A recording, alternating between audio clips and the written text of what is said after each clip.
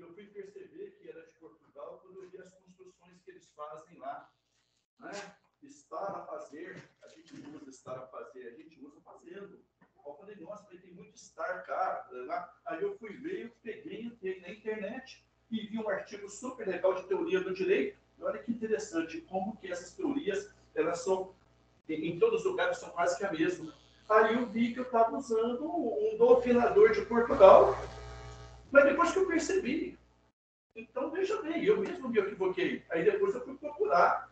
A sorte que eu tinha falado dele ali era tudo que tinha na doutrina nossa brasileira. Só que, poxa, eu estou usando o doutrinador português para discutir o direito brasileiro. Não pode. Então, esta que é a grande questão. Eu estou parabenizando vocês, porque vocês agora já têm 10% do curso concluído. E não parece que foi ontem que eu estava dando o primeiro dia de aula para vocês, eu falei, na minha era para vocês. Querendo ou não, o primeiro período já não te pertence mais. Porque é o que vocês são hoje, nós vamos comemorar não a primeira aula do professor Orgues, eu estou comemorando a volta dos guerreiros. Eles combateram o bom combate no primeiro período, venceram ele e agora estão voltando cheio de gás para o segundo. E cá estou eu de novo com o meu discurso para vocês, querendo acreditar que esse curso vai fazer diferença na vida de vocês. Então, que vocês tenham, me deem o prazer de serem meus alunos na filosofia do direito, que me deem o prazer de serem meus alunos na aula de ética, que aí nós vamos aprofundar na discussão, aí eu vou catar a cabeça de vocês, eu vou falar, o corpo pode ser seu, mas o teu cérebro me pertence. Mas uma coisa eu falo para vocês, vocês vão sair de uma forma mais crítica. Eu acho que a grande função do conhecimento, principalmente universitário, é emancipar vocês intelectualmente. Professor, eu não posso ter ideologia? Claro que pode. Não existe um ser humano sem ideologia. Platão já fala isso. Nós somos homos políticos. O que é homos políticos? Nós somos um animal político. Por que, que um animal político? Porque o animal, ele junta-se em bando e ele simplesmente vive e reproduz comportamentos. Nós, seres humanos, nos reunimos em sociedade, nos organizamos, colocamos nossa soberania acima de nós e nós nos modificamos, nos adaptamos, mas isso é o que menos do lado intelectivo do ser humano. Nós temos uma coisa chamada consciência. Nós temos uma coisa chamada responsabilidade. Emmanuel Kant fala isso. Nós somos duas pessoas em uma. Nós somos igualzinhos animais, gente. Igualzinhos animais. Eles têm necessidades fisiológicas, nós também temos. Eles têm necessidades sexuais, nós também temos. Eles têm a libido deles aflorada, graças a Deus, nós também temos. Eles têm necessidade do sexo, nós também temos. Com a única diferença que nós evoluímos e criamos um outro ser humano que nós fazemos o quê? Nós conseguimos trabalhar as nossas necessidades. E então, se der vontade de mim agora fazer um xixi, eu não vou simplesmente virar a perninha aqui e fazer. Então, eu vou pedir licença, vou lá no banheiro e vou fazer. Por quê? Porque tem um outro lado nosso que é isso que nós humanos. Né? Então, é essa construção humana que a gente tem que ter para nós. E é muito legal vocês começarem a fazer reflexões de mundo.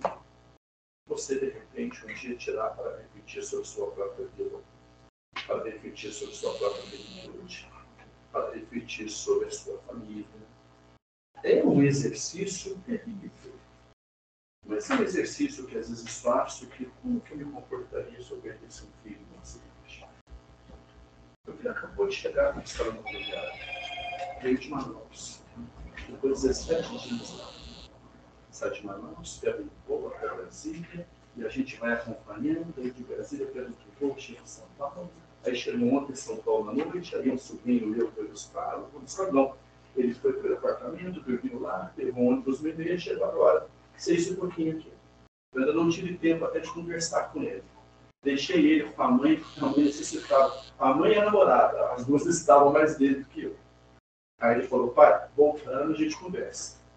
Você acha que não passou um monte de merda na minha cabeça? Ainda aqui é pai. Eu pergunto para vocês, a gente não pensa merda o tempo todo? Filho viaja, a gente consegue imaginar o quê? Por isso que chama preocupação. A gente se ocupa com um monte de coisa que pode vir acontecer. Então, isso é uma reflexão interessante para você fazer também na vida. Aí vira a pessoa e fala assim: Nossa, professor, eu detesto falar sobre morte. Então, comece a melhorar. Comece a falar mais. Comece a se preparar para si e para os outros. É interessante isso. Então, a nossa construção de conhecimento é isso. A nossa construção de conhecimento, a nossa evolução, é nós permitirmos a nós também evoluir, gente. É pensar em outras coisas. Sabe, por exemplo, o que você espera da vida? Vamos pegar relacionamento a dois. Puta, eu vou pra balada, peguei um gato, beijei pra caramba. Ótimo, cuidado. Não troque você quer na tua vida pela balada. Porque dependendo da relação que você entrar agora, ela pode comprometer muito você daqui a 10 anos como você se. Tudo é construção. Vai ficar naquela coisa da responsabilidade. Então, tudo na vida é assim. O jovem sai no hedonismo dele para balada no final de semana, ele não pode sair, deve. Ele não deve ter amigo, deve. Aproveite a juventude. Vá, curta. Não vacile. Um vacilinho que você der pode dar uma modificação nos seus projetos. Sabe? A vida toda. Então, é essa a grande questão para nós. Tá? Então, sejam bem-vindos. Vamos começar a nossa aula. Né?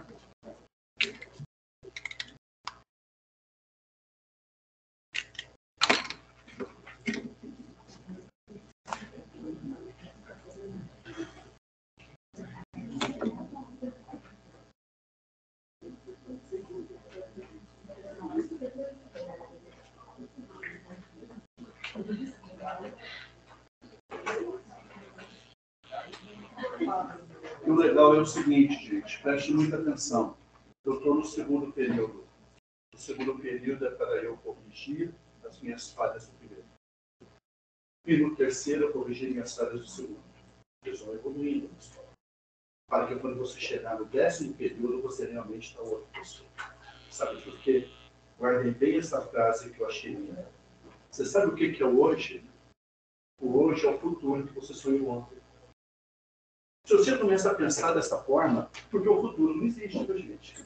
O futuro não existe. O que vai existir é o hoje. Nossa, amanhã eu quero levantar cedo, amanhã eu quero fazer uma, é, fazer uma ginástica, eu quero começar um jejum intermitente. Aí, de repente, você acorda e fala, eu agora estou vivendo o futuro que pensei ontem. Então, deixe-me fazer esse futuro vingar. Deixe-me agora pegar, fazer o que eu prometi para mim mesmo, fazer uma atividade, fazer um jejum intermitente, ler alguma coisa, ou de repente visitar um amigo. Por quê? Porque se você não faz nada disso, aquele futuro que você programou não existiu. Prepara para você ver que você quer viver de futuros só imaginados e não vividos, então que o segundo período seja para nós. Eu não estou só vocês, não, eu estou me trazendo nesse contexto também, sabe? Seja para nós aqui consertarmos algumas falhas que tivemos, né? Eu sei que eu estou me podendo de vocês aqui, eu não sei de tá. Quando vocês estão enrolando muito, eu estou tentando corrigir falhas, tá vendo? É isso aí. Né? Deixa eu ver onde que eu vou pôr isso aqui.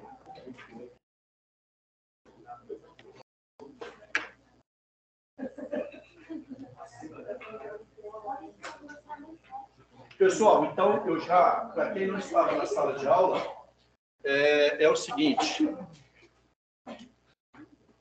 Estou dando é, boas-vindas para todo mundo, né? E nós vamos fazer a aula normal. Eu vou trabalhar um conteúdo com vocês que vocês já devem ter visto no Evangelho Salvador, mas só para ele poder dar uma introdução na matéria, tá certo? E após o intervalo, vocês vão fazer uma atividade em grupo para mim, valendo 250 pontos, tá certo? E terminando a atividade ir embora. Então não tem necessidade de cumprir o horário até o final. Eu sei que hoje tem jogo, tem muita gente querendo ver o Flamengo, né, tudo. Então, Na hora que der o sinal, já vem todo mundo sala, já se organiza em grupo, será grupo de cinco, tá bom, gente?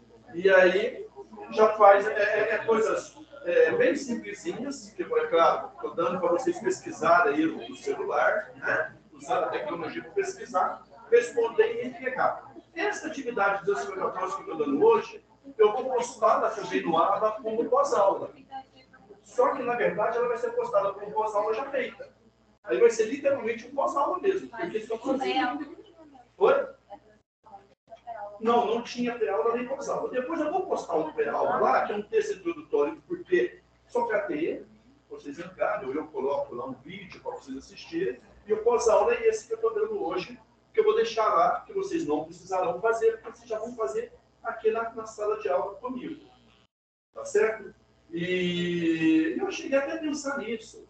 Alguns pós-aulas, eu fazer isso. Em vez de eu postar o pós-aula, eu dou depois do intervalo para vocês, vocês fazem e já ficam com ele para pontuar e vocês não terem necessidade de fazer depois. Né? Gabriel fez assim também. É, não, na verdade, essa atividade de 250 pontos como orientação do curso, tá? Para que todos nós dessemos uma atividade de 250 pontos para vocês. Então, vocês podem ter certeza que amanhã o professor também dará uma atividade. Mas para a gente entregar os plano na mão seria bem melhor. Então, isso, é, eu estou tentando idealizar isso. Não digo todos, tá certo? Mas aqueles que der. Ou, de repente, a gente pode até pensar, por exemplo, assim, é, o pós-aula se tornar é, um trabalho com fechamento da aula. Pós o intervalo, une dois, três e faz uma síntese da aula para mim foi dado, que é uma forma de vocês também verificarem o que foi feito, me entregam, tá certo? E eu depois coloco lá como pós-aula, mas um pós-aula já feito. E aquele que não vier vai ficar prejudicado nessa proporção.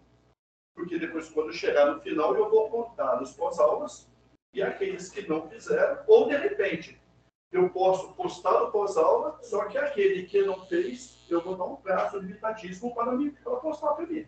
Vocês não precisam, mas aquele sim. Porque a gente está aqui para corrigir falhas. Eu percebi, com todo respeito, a não ser que o curso fale com a gente de outra forma, mas o pós-aula virou uma balela. Virou uma balela. O verdadeiro efeito dele não teve. Porque teve gente que simplesmente uma semana antes de acabar o semestre fez todos os pós-aulas e postou para mim. Então é uma coisa que não é assim que a coisa funciona. Sabe? Não é assim. A coisa é relativa. Sabe? Então fica difícil. Sabe? E aí eu olhei alguns pós-aulas lá horrorosos que eu tinha que zerar o pós-aula e eu falei, olha, eu vou dar ponto aqui e eu não estou com, sabe? E eu tenho uma outra forma de ver as coisas, que ou você faz a coisa certa, ou então não faz, porque se for para fazer meia boca, fica difícil. Também que eu acabou de falar, né? Sobre? E para evoluir também, né? Isso é importante.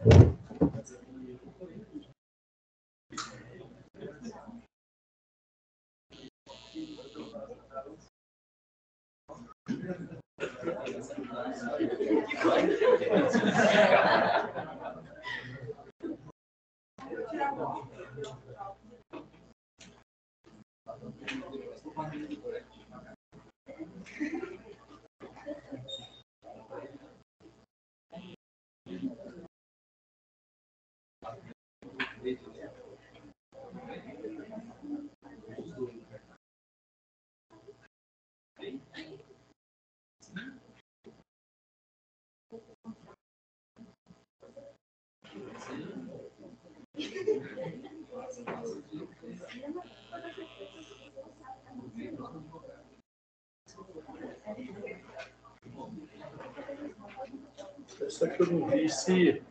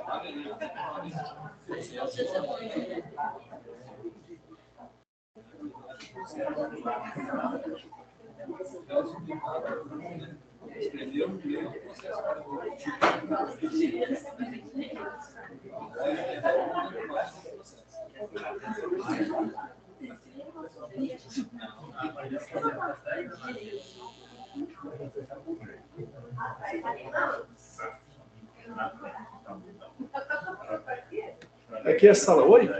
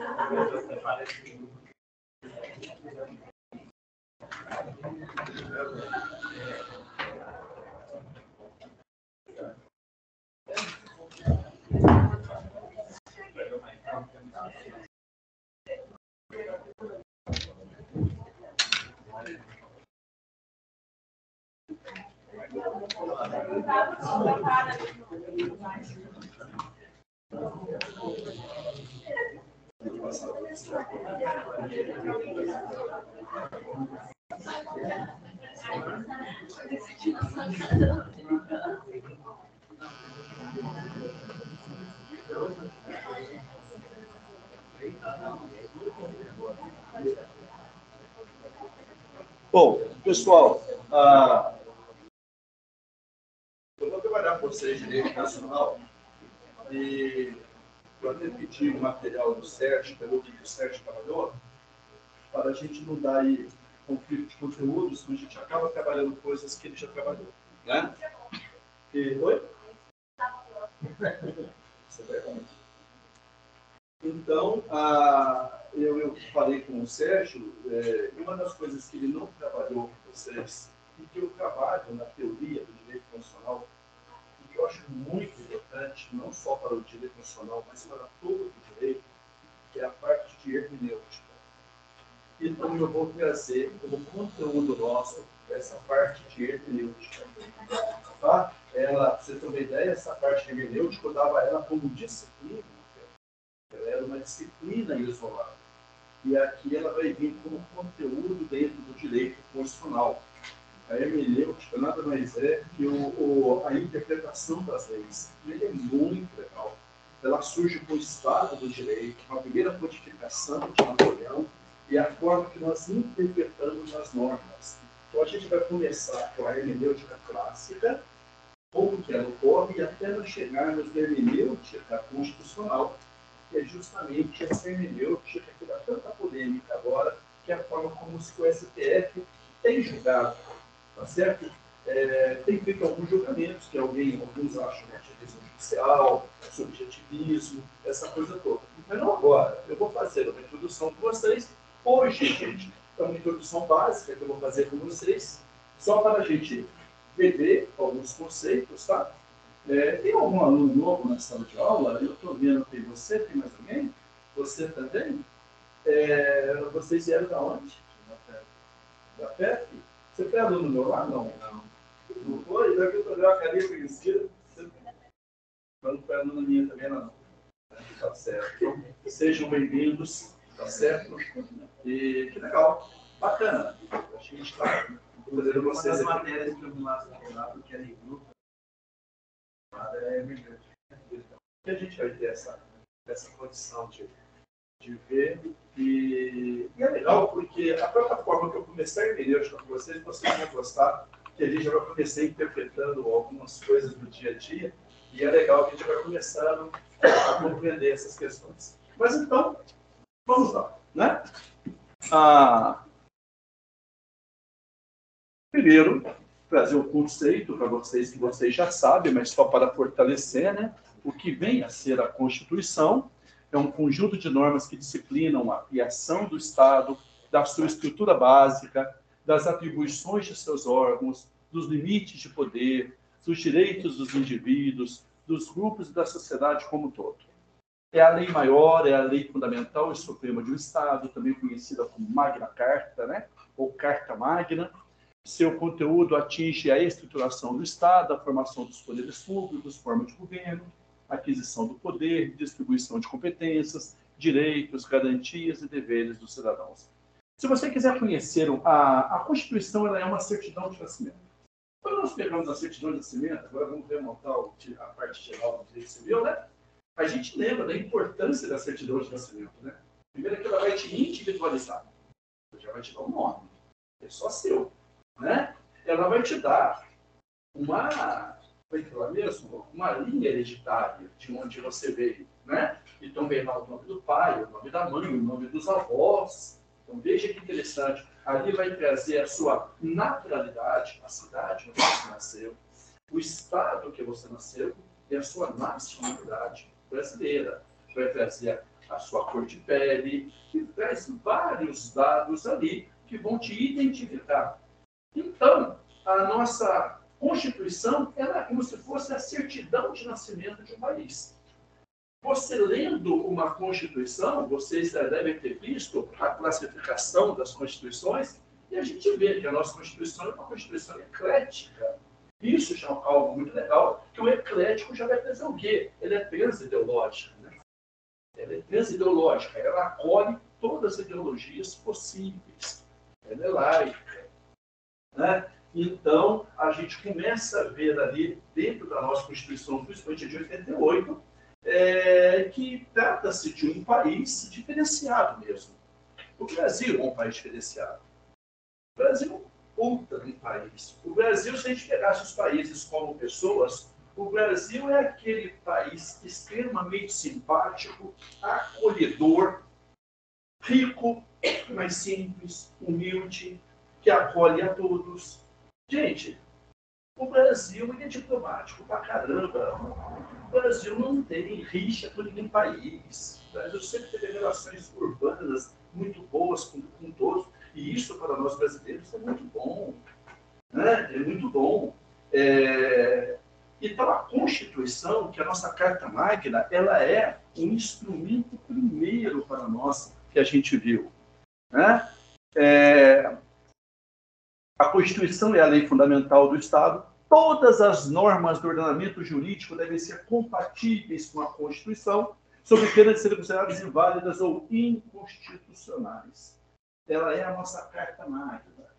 Existe sim uma competência legislativa que nós vimos lá, né? Acho que nós trabalhamos hierarquia das leis, né? Constituição, emendas constitucionais, e chegamos a trabalhar isso. No início eu fiz uma teoria do direito com vocês, né, Beto?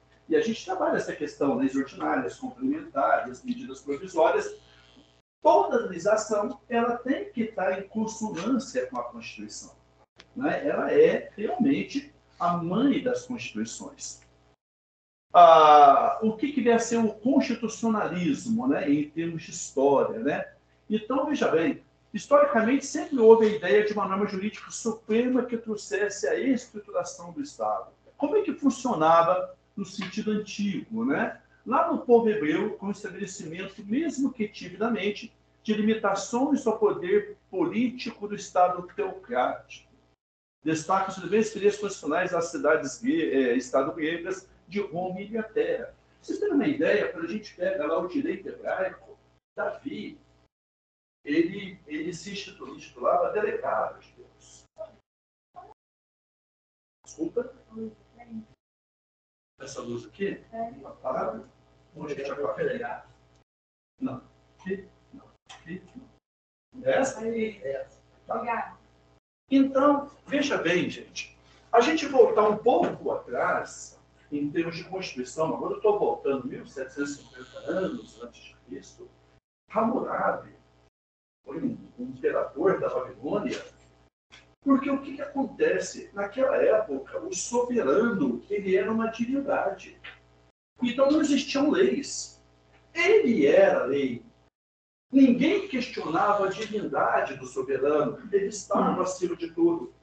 E Hammurabi, mesmo sendo um imperador, ele afasta-se da pessoa, da divindade, e cria o código de Hammurabi. E a partir do momento que coloca uma codificação para ele, querendo ou não, ele tira de si a sua autoridade máxima. Porque existe um código que ele mesmo instituiu. Quando a gente pega lá no povo hebraico, a gente vai ver as leis mosaicas. Até então não tinha. Né? Abraão, lá em 1250 a.C., faz uma aliança com Deus, né? e ele era um pastor nômade, e ele era politeísta, Abraão, ele acreditava em vários deuses, e de repente ele passa a ser monoteísta, acreditar no Deus só. Mas é com Moisés, com êxodo do Egito, que Moisés recebe o decálogo de Deus, né, que são os dez mandamentos, mas o decálogo é extremamente simbólico para nós. Tanto é que o decálogo não são leis de Deus. É muito importante entendermos isso. As leis de Deus. Deus não nos deixou leis. Ele nos deixou princípios. Ou, nos Dez Mandamentos, está escrito, é proibido matar. Está? Ele não traz proibição para nada, ele traz princípios. Não matarás. Esse não matarás, ele não está falando para você que não pode matar. Não se deve matar. Não roubarás. Não desejarás as coisas alheias. Ele deu para nós uma espinha dorsal de princípios. E Moisés, através dessa espinha dorsal, cria as leis mosaicas. E aí as leis mosaicas passam realmente a serem leis. Se você quiser ver a lei mosaica, você vai no livro de Deuteronômio. Lá no Deuteronômio ele vai trazer sobre o adultério, ele vai trazer sobre crimes, ele traz a legislação toda lá. Então as leis mosaicas, eles atribuem o Pentateuco, que são cinco livros da Bíblia, né? Gênesis, aí tem lá é, juízes, não, é, Gênesis, Deuteronômio, agora quem que é da igreja aí, você cobre.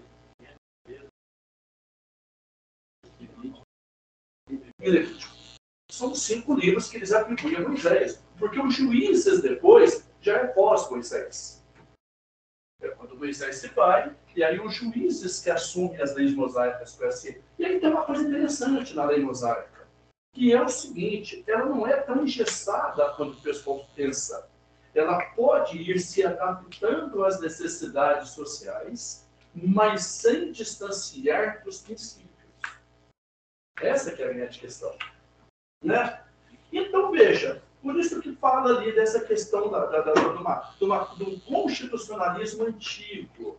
Na Grécia, nós tivemos Drácon, um primeiro imperador da Grécia, que é muito interessante. Drácon criou uma lei, mas uma lei tão severa, mas tão severa, que os próprios gregos recusavam aplicar a lei. Eles mesmos recusavam. Eles falavam que Drácon tinha escrito as leis por sangue porque elas eram terríveis. Era uma lei que, por exemplo, a pessoa, a pessoa roubou um pão ou matou outro, é morte. Era aquela coisa muito radical. Tanto é que nós atribuímos, quando pegamos um contrato unilateral, ele favorece somente uma das partes, no total desequilíbrio de forças, a gente fala o quê? Para o juiz, esse contrato está invado de cláusulas dracônicas, alusiva a Drácula. Só que depois de Drácula veio Solo. E Solo foi o primeiro imperador da Grécia e que trouxe as leis de Solo, e foram leis tão mal feitas que o Império Romano, que é o caput do mundo, foi buscar inspiração nas leis de Solo. Solo veio e corrigiu tudo. Solo era poeta. Solo era poeta, Solo era um cara mente do seu tempo, Solo uniu as cidades gregas todas as cidades-estados, mas tinha a ali, que era o constitucionalismo antigo. O Império Romano, então, faz o quê?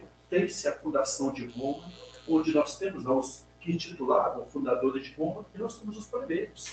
Os plebeus é todo aquele povo que ia para Roma mas que não eram pertencentes a Roma, não eram considerados cidadãos romanos, mas trabalhavam, trabalhavam é, na forja, é, na padaria, eram comerciantes, mas não eram cidadãos romanos, eles eram plebeus. Vamos tentar imaginar assim, aqueles nascidos em São Paulo e todos que foram trabalhar lá eram plebeus. Então, vocês não são paulistas. Era mais ou menos isso. E o que, que acontecia com os plebeus? Eles queriam, aí vem aquela coisa linda para entendermos o que, que é cidadania. Cidadania vem lá do grego, né? Tivitas. O que, que é o tivitas? Que é o cidadão, aquele que pertence à cidade, que é o pertencimento. Quando você pega uma certidão de nascimento que está escrito brasileiro, se emociona. Você tem lar, você tem terra, você tem país, você tem um lugar para se chamar de meu. Tem muita gente que não tem. O Oriente Médio tem muito lugar que está em guerra, porque eles não conseguem colocar uma soberania de Estado lá. Então, o que, que acontecia? Os plebeus queriam ser considerados cidadãos de Roma. Mas Roma não aceitava isso. Então os plebeus faziam o quê? Criavam suas próprias leis. Eles tinham os juros consultos da plebe. O grande Opiniano que criou o Ubi Societas Ubi Jus, onde está o direito, está a sociedade, ele era jurisconsulto da plebe. E eles criavam as leis para regular a vida deles na plebe. E a esse nome eles deram o nome de plebiscito. E é por isso que quando nós temos o plebiscito, que é colocar o voto popular, olha a origem, né? Plebiscito vem de plebe, plebe vem de povo. E por que eu estou falando isso? Porque depois Roma vai evoluindo e os plebeus chegam num ponto que não aceita mais essa submissão de Roma. Por exemplo, os plebeus queriam pagar impostos. Os plebeus queriam compor o exército de Roma, queriam lutar por Roma, mas Roma não permitia. E agora eu pergunto para vocês, por que, que Roma não permitia que os plebeus pagassem impostos para eles? Por que, que Roma não permitia que eles participassem do exército de Roma para protegê-la? Respondam para mim. Porque a partir do momento que eles são atribuídos deveres, como teria que atribuído o quê? Direitos. Olha você ver como é que é a coisa. Mas aí teve talvez o que a gente conhece como a primeira greve no universo. Quem fazia os serviços ali secundários de Roma? Quem cuidava do saneamento básico de Roma? Quem cuidava da limpeza de Roma? Os plebeus. Eles simplesmente paravam. E aí os romanos foram ficando loucos.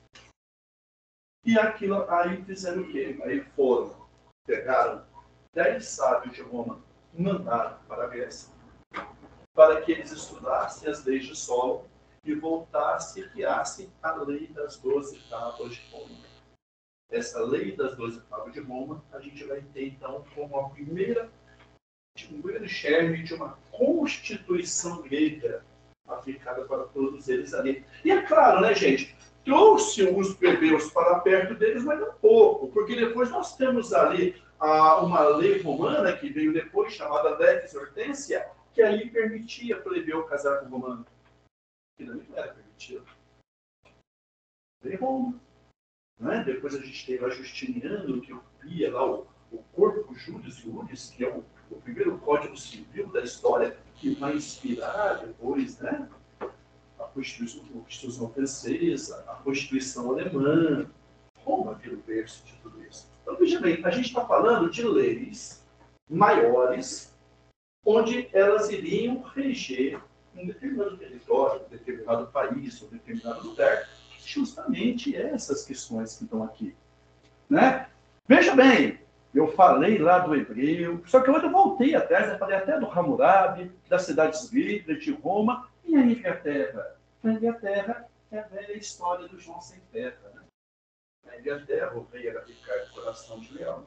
Ricardo Coração de Leão era um rei maluco, que só gostava de brigar, e ficava guerreando com todo mundo, e a Inglaterra ficava entregue.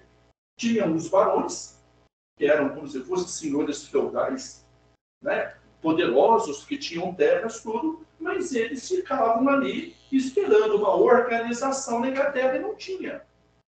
E Ricardo Coração de Leão tinha um irmão caçula chamado João, que foi apelidado de João Sem Terra, porque era um cara, tinha um caráter tão deficitário que o próprio pai o deserdou da herança de terras.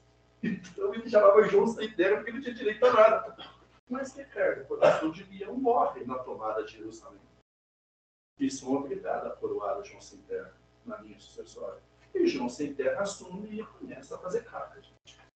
Ele começa a fazer caca, e o que caca que ele faz? Ele começa a fazer tributação. Dava altas festas, começa a gastar o dinheiro, falava, eu preciso de dinheiro, tributo pouco, tributo os balões. E não tinha, tributar é cobrar impostos totalmente lógicos, na cabeça dele. E os caras não tinham mais como ficar pagando imposto, imposto, imposto. Outra coisa, chegava na casa da pessoa, não pagava imposto e ia preso. Prendia pessoas sem saber nada do que estava sendo preso. Matava pessoas, cerceava pessoas, apropriava-se de terras de pessoas. E aquilo estava uma loucura. Mas a França resolve invadir a. Na hora de França, pensa em invadir a Inglaterra, João sem terra fica louco ele não tinha exército suficiente. E ele tinha que contar com os barões para defendê-lo para não Aí é na hora que os barões devem, falou o que para ele? Opa, para que, que nós vamos te ajudar se a gente não tem nada? A gente prefere, então, ficar com a França. Que a França entre. Pelo menos a gente vai ter um rei, a gente vai ter um reino, a gente vai ter uma nação. E ele, sem saber o que fazer, os barões falaram: a gente luta a gente expulsa os franceses daqui. Mas você vai ter que assumir um documento para a gente que vai limitar os seus poderes. E em 1213 é escrito, aí sim, a primeira Constituição, que foi dada esse nome, a Magna Carta da Inglaterra, em 1213, que ela vai depois influenciar né, todas as outras constituições. E aí nós chegamos no constitucionalismo antigo.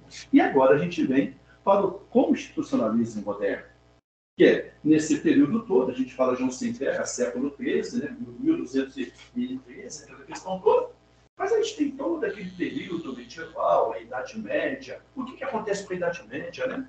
É... Roma torna-se cristã, Teodósio torna-se um imperador cristão, ele acaba com todas as religiões que existiam, ou pelo menos proíbe todas, e aí torna-se sim. O Império Romano torna-se um lugar onde não é laico. Ele é cristão. Teodósio é um imperador cristão. E aí faz o quê? O cristianismo tem uma ascensão insuperável com a Igreja Católica. E Roma faz o quê? Ela cuida das situações de Estado mas joga todo o comportamento moral para a igreja. E a igreja fica com a faca e queijo na mão. E ela faz o que então? Entramos na santidade, onde tudo que é moral, que é ético, encontra-se nos livros sagrados. E tem umas coisas muito interessantes para contar para vocês. Os cavaleiros das cruzadas, e porventura algum dia existiu o rei Arthur, era uma família, tá, gente? Eles não serão então, era um anabaptismo, porque quem detinha a linguagem eram somente os religiosos. Agora, tente imaginar o religioso falando para você o que Deus está falando, eu sou representante de Deus na Terra, e você acredita em tudo que eu falo. Olha que doideira. E é uma coisa absurda. Coisa absurda. As missas eram pesadas em latim eu não conhecia nenhum latim. Então o padre ficava na frente falando um monte de coisa e a pessoa entendia que ele estava conversando com Deus. Para você ter uma ideia, vamos trazer uma coisa mais palpável para vocês. Quem daqui já entrou na soledade? Na igreja que é soledade. Vocês já prepararam quando a gente entra na matriz? Tem o altar, é aquele que a gente chama de nave. Todas as igrejas, aquela cúpula, de nave. E você vê que tem dois mini altares do lado, um tem o Sagrado Coração de Jesus e no outro acho que tem o São José. E você pode reparar que abaixo deles tem um sagrado. Ali era o casamento dos pobres, gente. Os pobres casavam ali no altarzinho. Os ricos casavam no altar. É pura, né? Estou falando coisa para vocês agora aqui de século XIX, aqui, quando o Tajibá já tinha sido fundado. Mas aí vem a igreja. E depois, é claro, né? Com a igreja, aí veio o comércio, junto com o comércio veio né, essa troca de ideologias, porque começa a vir o pessoal do Oriente Médio, Marco Polo vai e descobre a Ásia, descobre os chineses, né? E por aí vai. Engraçado que quando, não sei se vocês viram, o seriado Sem Limite, que está passando na Amazon, com o Rodrigo Santoro, e por sinal um seriado muito legal, é uma minissérie, tá, gente? Não é seriado, é, são seis episódios. Ele vai contar a história do Fernando Magalhães, que era um português que tinha descoberto um novo caminho para as Índias e que Portugal não deu ouvido para ele. Ele foi para a Espanha e a Espanha bancou a viagem dele. Então é a história dele ali, dentro dessa questão. Então, veja bem, como é que o descobridor? Sem limite. E por sinal, o Rodrigo Santoro dá um show. Eu acho que ele é cara tão bom, ele é muito mal aproveitado muitas vezes ali. Mas esse, esse é legal, você ter uma ideia, é ele e o ator espanhol que trabalha com ele, para quem assistiu aí, acho que Casa de Papel, ele é o professor do Casa de Papel, que é um dos personagens mais carismáticos do seriado. Tá? Então, toda essa história. E vem, né? Esse comércio, esse mercado, começam a trazer novas ideias, e a partir daí, então, depois vem, né? Vem a, o Renascimento, vem a Revolução Francesa, a Revolução Francesa, vem o Estado do Direito, e aí vem Napoleão Bonaparte, imperador da França, mas olha que diferença agora. Ele é um imperador, mas tem uma codificação aqui, que ele está sujeito a ela. Né? Então, veja, surge no final do século XVIII com o propósito de limitar o poder estatal absoluto. O seu marco histórico está na criação das Constituições dos Estados Unidos da América, em 1786, 7, e diga-se de passagem, eu acho que a Constituição dos Estados Unidos tem sete artigos só, e é a mesma até hoje, nunca mudou. Nós estamos na nossa sétima Constituição, das nossas sete Constituições, quatro promulgadas e três otorgadas otorgadas, que aquela né, que foi colocada, foi imposta, né? Em 1824, que é a Constituição do Império, que foi otorgada pelo Pedro I. Depois nós temos a de 1937, que foi otorgada pelo Getúlio, que no golpe dele lá, e depois nós temos a Constituição de 67 na ditadura militar. Três constituições que foram dadas com abaixo. E temos quatro que foram promulgadas. A de 1891, que é a Constituição Republicana, a Constituição de 1934, e a Constituição de 46 e, enfim, a Constituição de 88. Sete constituições na história.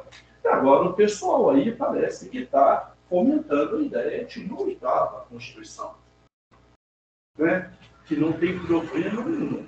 O medo é quem que vai, como que essa Constituição vai ser feita. Né? Que é um processo natural também. Tá?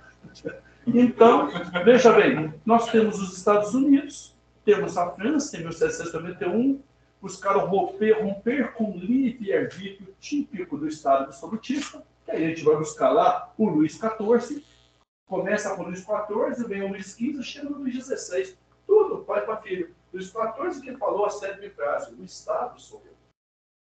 Eu faço o que eu quero.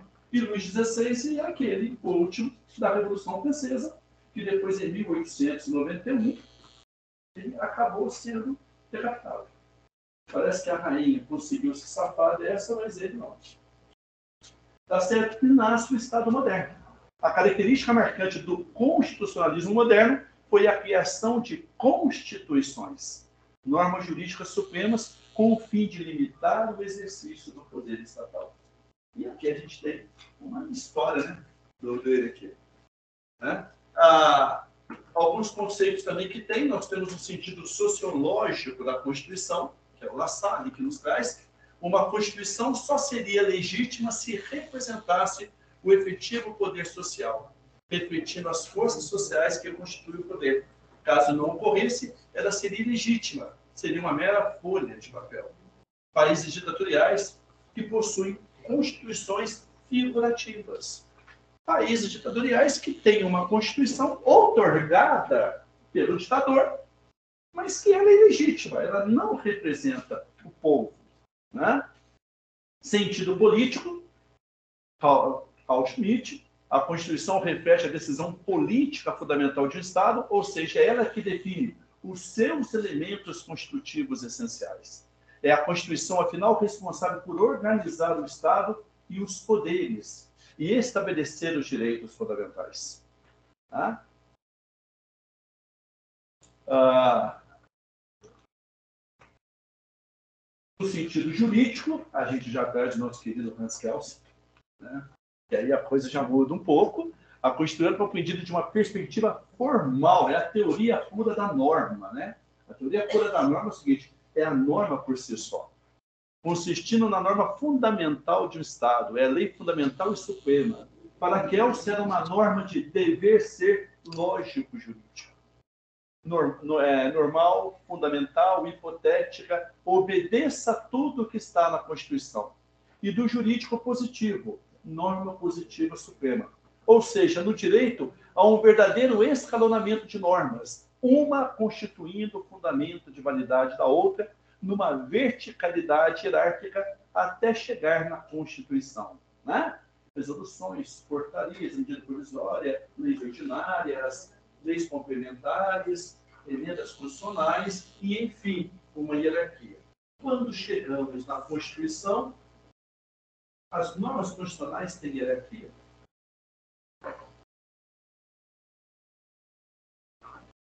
Vamos lá. As normas constitucionais têm hierarquia? Não, tem. Elas não têm hierarquia em si. O que ocorre dentro das normas constitucionais são os princípios axiológicos. Ela é principialista, é a ponderação de princípios. Então, quando você pega, vamos pegar o lockdown. O lockdown, ele teve um conflito de princípios ali. O princípio, vou colocar, da saúde pública com o princípio da liberdade de locomoção da liberdade de comércio da pessoa. Esses princípios, hierarquicamente, um é maior que o outro? Não. Só que vai fazendo a ponderação dos princípios. E aí é legal quando a gente aprende a hermenêutica. Vocês vão ver certinho como que trabalha essas ponderações. Muito legal. Tá certo? Então, teoria pura ou do direito é o ápice do desenvolvimento do positivismo jurídico. Para essa doutrina, o conhecimento é restrito aos fatos e às leis que os regem. Isto é, nada de apelar para a metafísica, a razão ou a religião a Pascals. Entendeu? O que, que acontece ali? Ali a gente vai ver o seguinte, eu me lembro, o pessoal falava assim, determinado juiz é tendências. A gente entra no princípio do legalismo. O juiz, ele vivia numa camisa de força a despeito somente a norma. Ele não tinha liberdade, ele não tinha subjetividade. Com o passar do tempo, né, a própria sociedade vai mudando e o próprio magistrado vai mudando também. E você vê que hoje o magistrado ele tem uma liberdade muito maior para ele ponderar, desde que ele fundamente. Tanto é que ele pode acabar criando eh, sentenças que amanhã viram até normas, porque ele dá um entendimento. Né? E isso é muito legal. E nós, advogados, também podemos ser juristas, que aí cai naquela questão que eu falei para vocês. Não sejam meros operadores do direito, sejam juristas. Busquem entender a essência da norma, o que, que ela representa, sabe? Para a gente poder compreender essa, essa questão. Então, uh, ação por dano moral era algo que não existia. Alguém maluco deve ter falado o quê? Peraí, gente. Se tem lá no Código Penal lá, o crime contra a honra, tem que ter um jeito de atribuir uma, uma pena monetária em cima disso. Se houve uma violação. Teve que ter um momento aquilo lá. Então, veja bem, isso cai numa subjetividade. E dentro do Hans Kelsen segue-se a norma. Por exemplo, Hans Kelsen, vocês vão lembrar, quando nós trabalhamos direito e moral, Hans Kelsen são círculos separados. Tem a moral que é da moral, e o direito que é do direito. Esquece isso. Então, o Hans Kelsiano é norma pura. Né? E aí, eu trouxe para vocês também, para a gente rever alguns elementos da Constituição que eu achei interessante, né? Então, que forma a Constituição? Veja, os elementos orgânicos. conjunto de normas que regulam a estrutura do Estado e do poder. Eu não estou especificando eles aqui, mas veja bem, da organização do Estado, da organização dos poderes, né, das Forças Armadas e da Segurança Pública, da tributação e do orçamento. Isso aqui, gente, elementos orgânicos, elementos que organizam e estruturam o nosso Estado. O segundo são os elementos limitativos, normas que trazem o elenco dos direitos e garantias fundamentais que limitam o exercício do poder estatal. E aqui nós vamos entrar em algo que parece que vocês viram o Sérgio Salvador de uma forma mais reduzida, que são os remédios funcionais, mas aqui a gente vai poder ver um pouquinho mais aprofundado os remédios funcionais. E é muito interessante que o Rui Barbosa fala o quê? Qual que é a diferença dos direitos fundamentais e das garantias fundamentais? E ele dá uma definição que Rui Barbosa era Rui Barbosa. Cara, era danado. Ele fala que os direitos fundamentais, eles são direitos meramente declaratórios. É o único efeito dele é esse, ele só declara. Quando você pega lá o artigo 5 está lá, todo mundo tem direito de liberdade religiosa, né? livre expressão do clero. Bacana. E daí? E se de repente alguém violar esse direito meu, o que, que acontece? Então, direitos fundamentais são bens meramente declaratórios da Constituição. E as garantias fundamentais, elas são assecuratórias. Assegurar que aqueles direitos serão cumpridos. Todo mundo tem direito à liberdade de locomoção. E aí, gente, tem uma coisa muito interessante para nós entendermos também.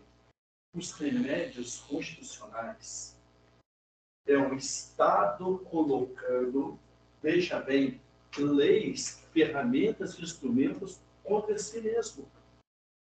Todos os remédios constitucionais é contra o próprio Estado.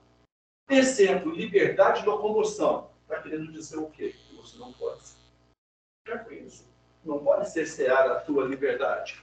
Ser um devido processo legal, né? E, e, e, todos aqueles princípios do contraditório, da ampla defesa, do juiz natural, tudo.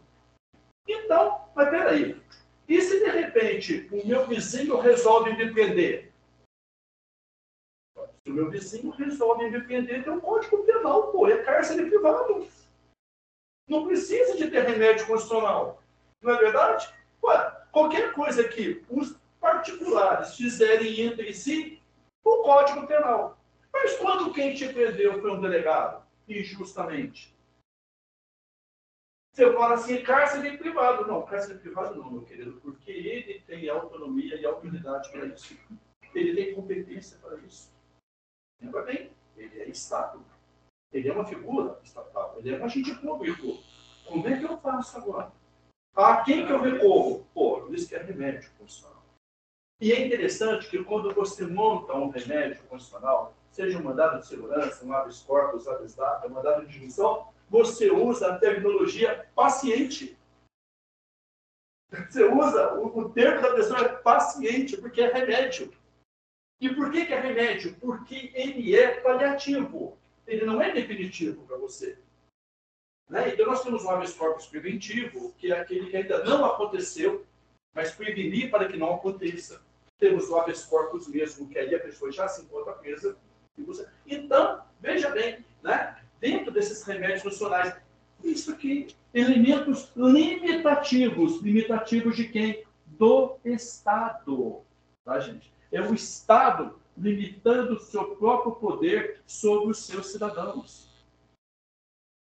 Elementos socioideológicos, normas que revelam o compromisso das constituições modernas entre o Estado individualista, que é o liberal, e o Estado social intervencionista. Isso aqui, gente, é a polarização. Estado liberal ou Estado social? estado forte ou estado, não estado fraco, mas estado neutro. O estado forte significa o quê? É aquele que intervém em tudo da sua vida. O estado forte é isso. E o, o estado liberal é aquele que vai intervir o mínimo possível na sua vida. Nós vivemos um Estado liberal. Né? A gente vive um Estado liberal. Eu estou vendendo minha casa. Eu coloco o preço, eu negocio como. Então, é, as formalidades que eu cumpro no Estado são formalidades tributárias, cartorárias, mas eu tenho total liberdade. Eu não, todo brasileiro. Eu quero montar um comércio para mim. Eu monto um comércio para mim, amanhã eu quero fechar o comércio. Eu fecho o comércio. Eu quero casar, eu caso com quem eu quiser. Ah, eu quero divorciar, eu divorcio. Então a gente vive no Estado liberal. A gente já vive esse Estado liberal. E é a intervenção mínima do Estado. Mas do outro lado também, porque na verdade a nossa Constituição, gente, ela é os dois. A Constituição de 88, ela é uma Constituição que ao mesmo tempo que ela tem um liberalismo econômico, ela tem também esse compromisso, é a Constituição dirigente, de buscar alcançar os direitos sociais de todos. O Brasil podia ser uma potência mundial. O problema do Brasil é o próprio brasileiro. Né? Tem uma piadinha, não sei se eu contei para vocês, Deus, quando eu estava fazendo o universo, eu contei, eu conto de novo. Deus estava fazendo o universo. Aí ele criou os planetas, aquela coisa toda, e de repente ele criou um planeta bonito, tinha uma camada de atmosfera, e aquela coisa toda. E aí, depois que ele montou aquele planeta lindo, ele começou. Ele pegou um lugar, jogou geleira. Pegou outro lugar, jogou vulcão. Pegou outro lugar, jogou deserto. E pegou outro lugar, jogou terremoto, tsunami. E foi jogando um monte de coisa. De repente, pega embora. Bota um puta no litoral. Monta um ecossistema e esse país, esse lugar tem dimensão continental. E não colocou um deserto, não colocou um maremoto, não colocou nada. O anjo estava do lado olhando e falou: Quem sou eu para discordar do Criador? Eu acho que está injusto isso, mestre. Ele falou: Por quê? Poxa, mestre, em cada lugarzinho ele só colocou uma praga, colocou um negócio ruim esse aqui não vai ter nada. Ele colocou antes. Certo, você deu o ouvinte merda.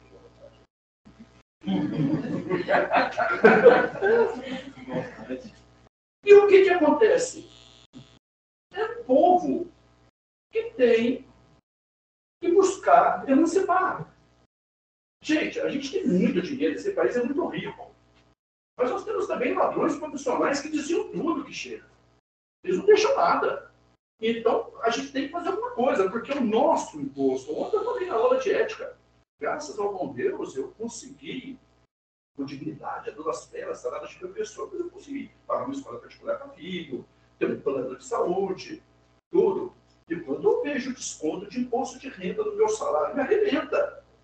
Mas eu não quero nada para mim, graças a Deus. Mas eu fico chateado e emputecido do outro. Quando eu vejo o outro que não tem. E eu falo, caramba, mas eu estou pagando para o outro. O outro tinha que ter hospital de qualidade, escola de qualidade, tinha que ter tudo. Para onde que vai esse dinheiro? Então, veja bem, é uma questão nossa também no Brasil que tem que ser revisto isso. Tem que ser revisto, tem que ter leis mais. Não pode ter leis mais brandas para esse tipo de coisa. Eu vou ser sincero com vocês, eu vou falar uma besteira, pensamento meu. Não precisa ser aceitado, não. Mas eu acho que tinha que começar a aplicar determinadas condutas privadas no mundo público. A empresa te contrata. Você entra para trabalhar na empresa. Faz uma caca na empresa para ver o que, que acontece se você fizer uma porcaria na empresa. Vai demitido como? E você já viu alguém ser demitido numa empresa por justa causa e ela recontratar? Pô, se o nosso Brasil, uma grande empresa, contrata o cara dá credibilidade para ele, ele faz caca, ele não deveria nunca mais voltar para a vida política. Nunca mais, ele teve a chance dele. Aí, a partir do momento que começa a permitir, a gente está vendo um monte de gente voltando aqui, que, pô, é sacanagem. Não, o Collor foi impeachmentado e, e olha aqui, ele que inspirou o Exterminador do Futuro. Aí, come back, eu voltarei. Voltou. Ah, então, retomando aqui, galera. Mas, Rodrigo, pastor, eu acho que o pior de tudo é que o juiz, quando faz uma merda, aposenta. Ah, mas peraí, peraí. Vamos agora, vamos agora começar assim, a compreender que tudo é, tem assim, uma esperança. Né? Tudo tem uma esperança. Por quê? Por exemplo, não sei se vocês sabem, mas os juízes que passarem no concurso agora não aposentam mais o salário deles. Eles aposentam pelo INSS. Isso já é uma conquista. Até mesmo para melhorar o magistrado. Quer dizer, um cara que quiser agora ser juiz, ele vai entender que ele vai aposentar igual qualquer outro, que seria o certo. Tá? É, 7 mil, né? 7 mil. Na verdade, ele não deveria aposentar. Ele não deveria aposentar, porque o salário que ele ganha dá tranquilamente para ele é, construir uma segurança financeira e depois não precisa nem de aposentadoria. Você está entendendo? É essa a questão. Mas agora, Rogério, que você falou, tem uma lei do deputado que já passou. Dentro do Conselho Nacional de Justiça, que não vai ter mais essa aposentadoria compulsória. Mas já se transformou? Já. Entra no Conselho Nacional de Justiça. Eu falei, caramba, é o CNJ. O CNJ voltou. É, porque teve o caso da, da juíza lá. Outra coisa, gente. Você trabalha numa empresa.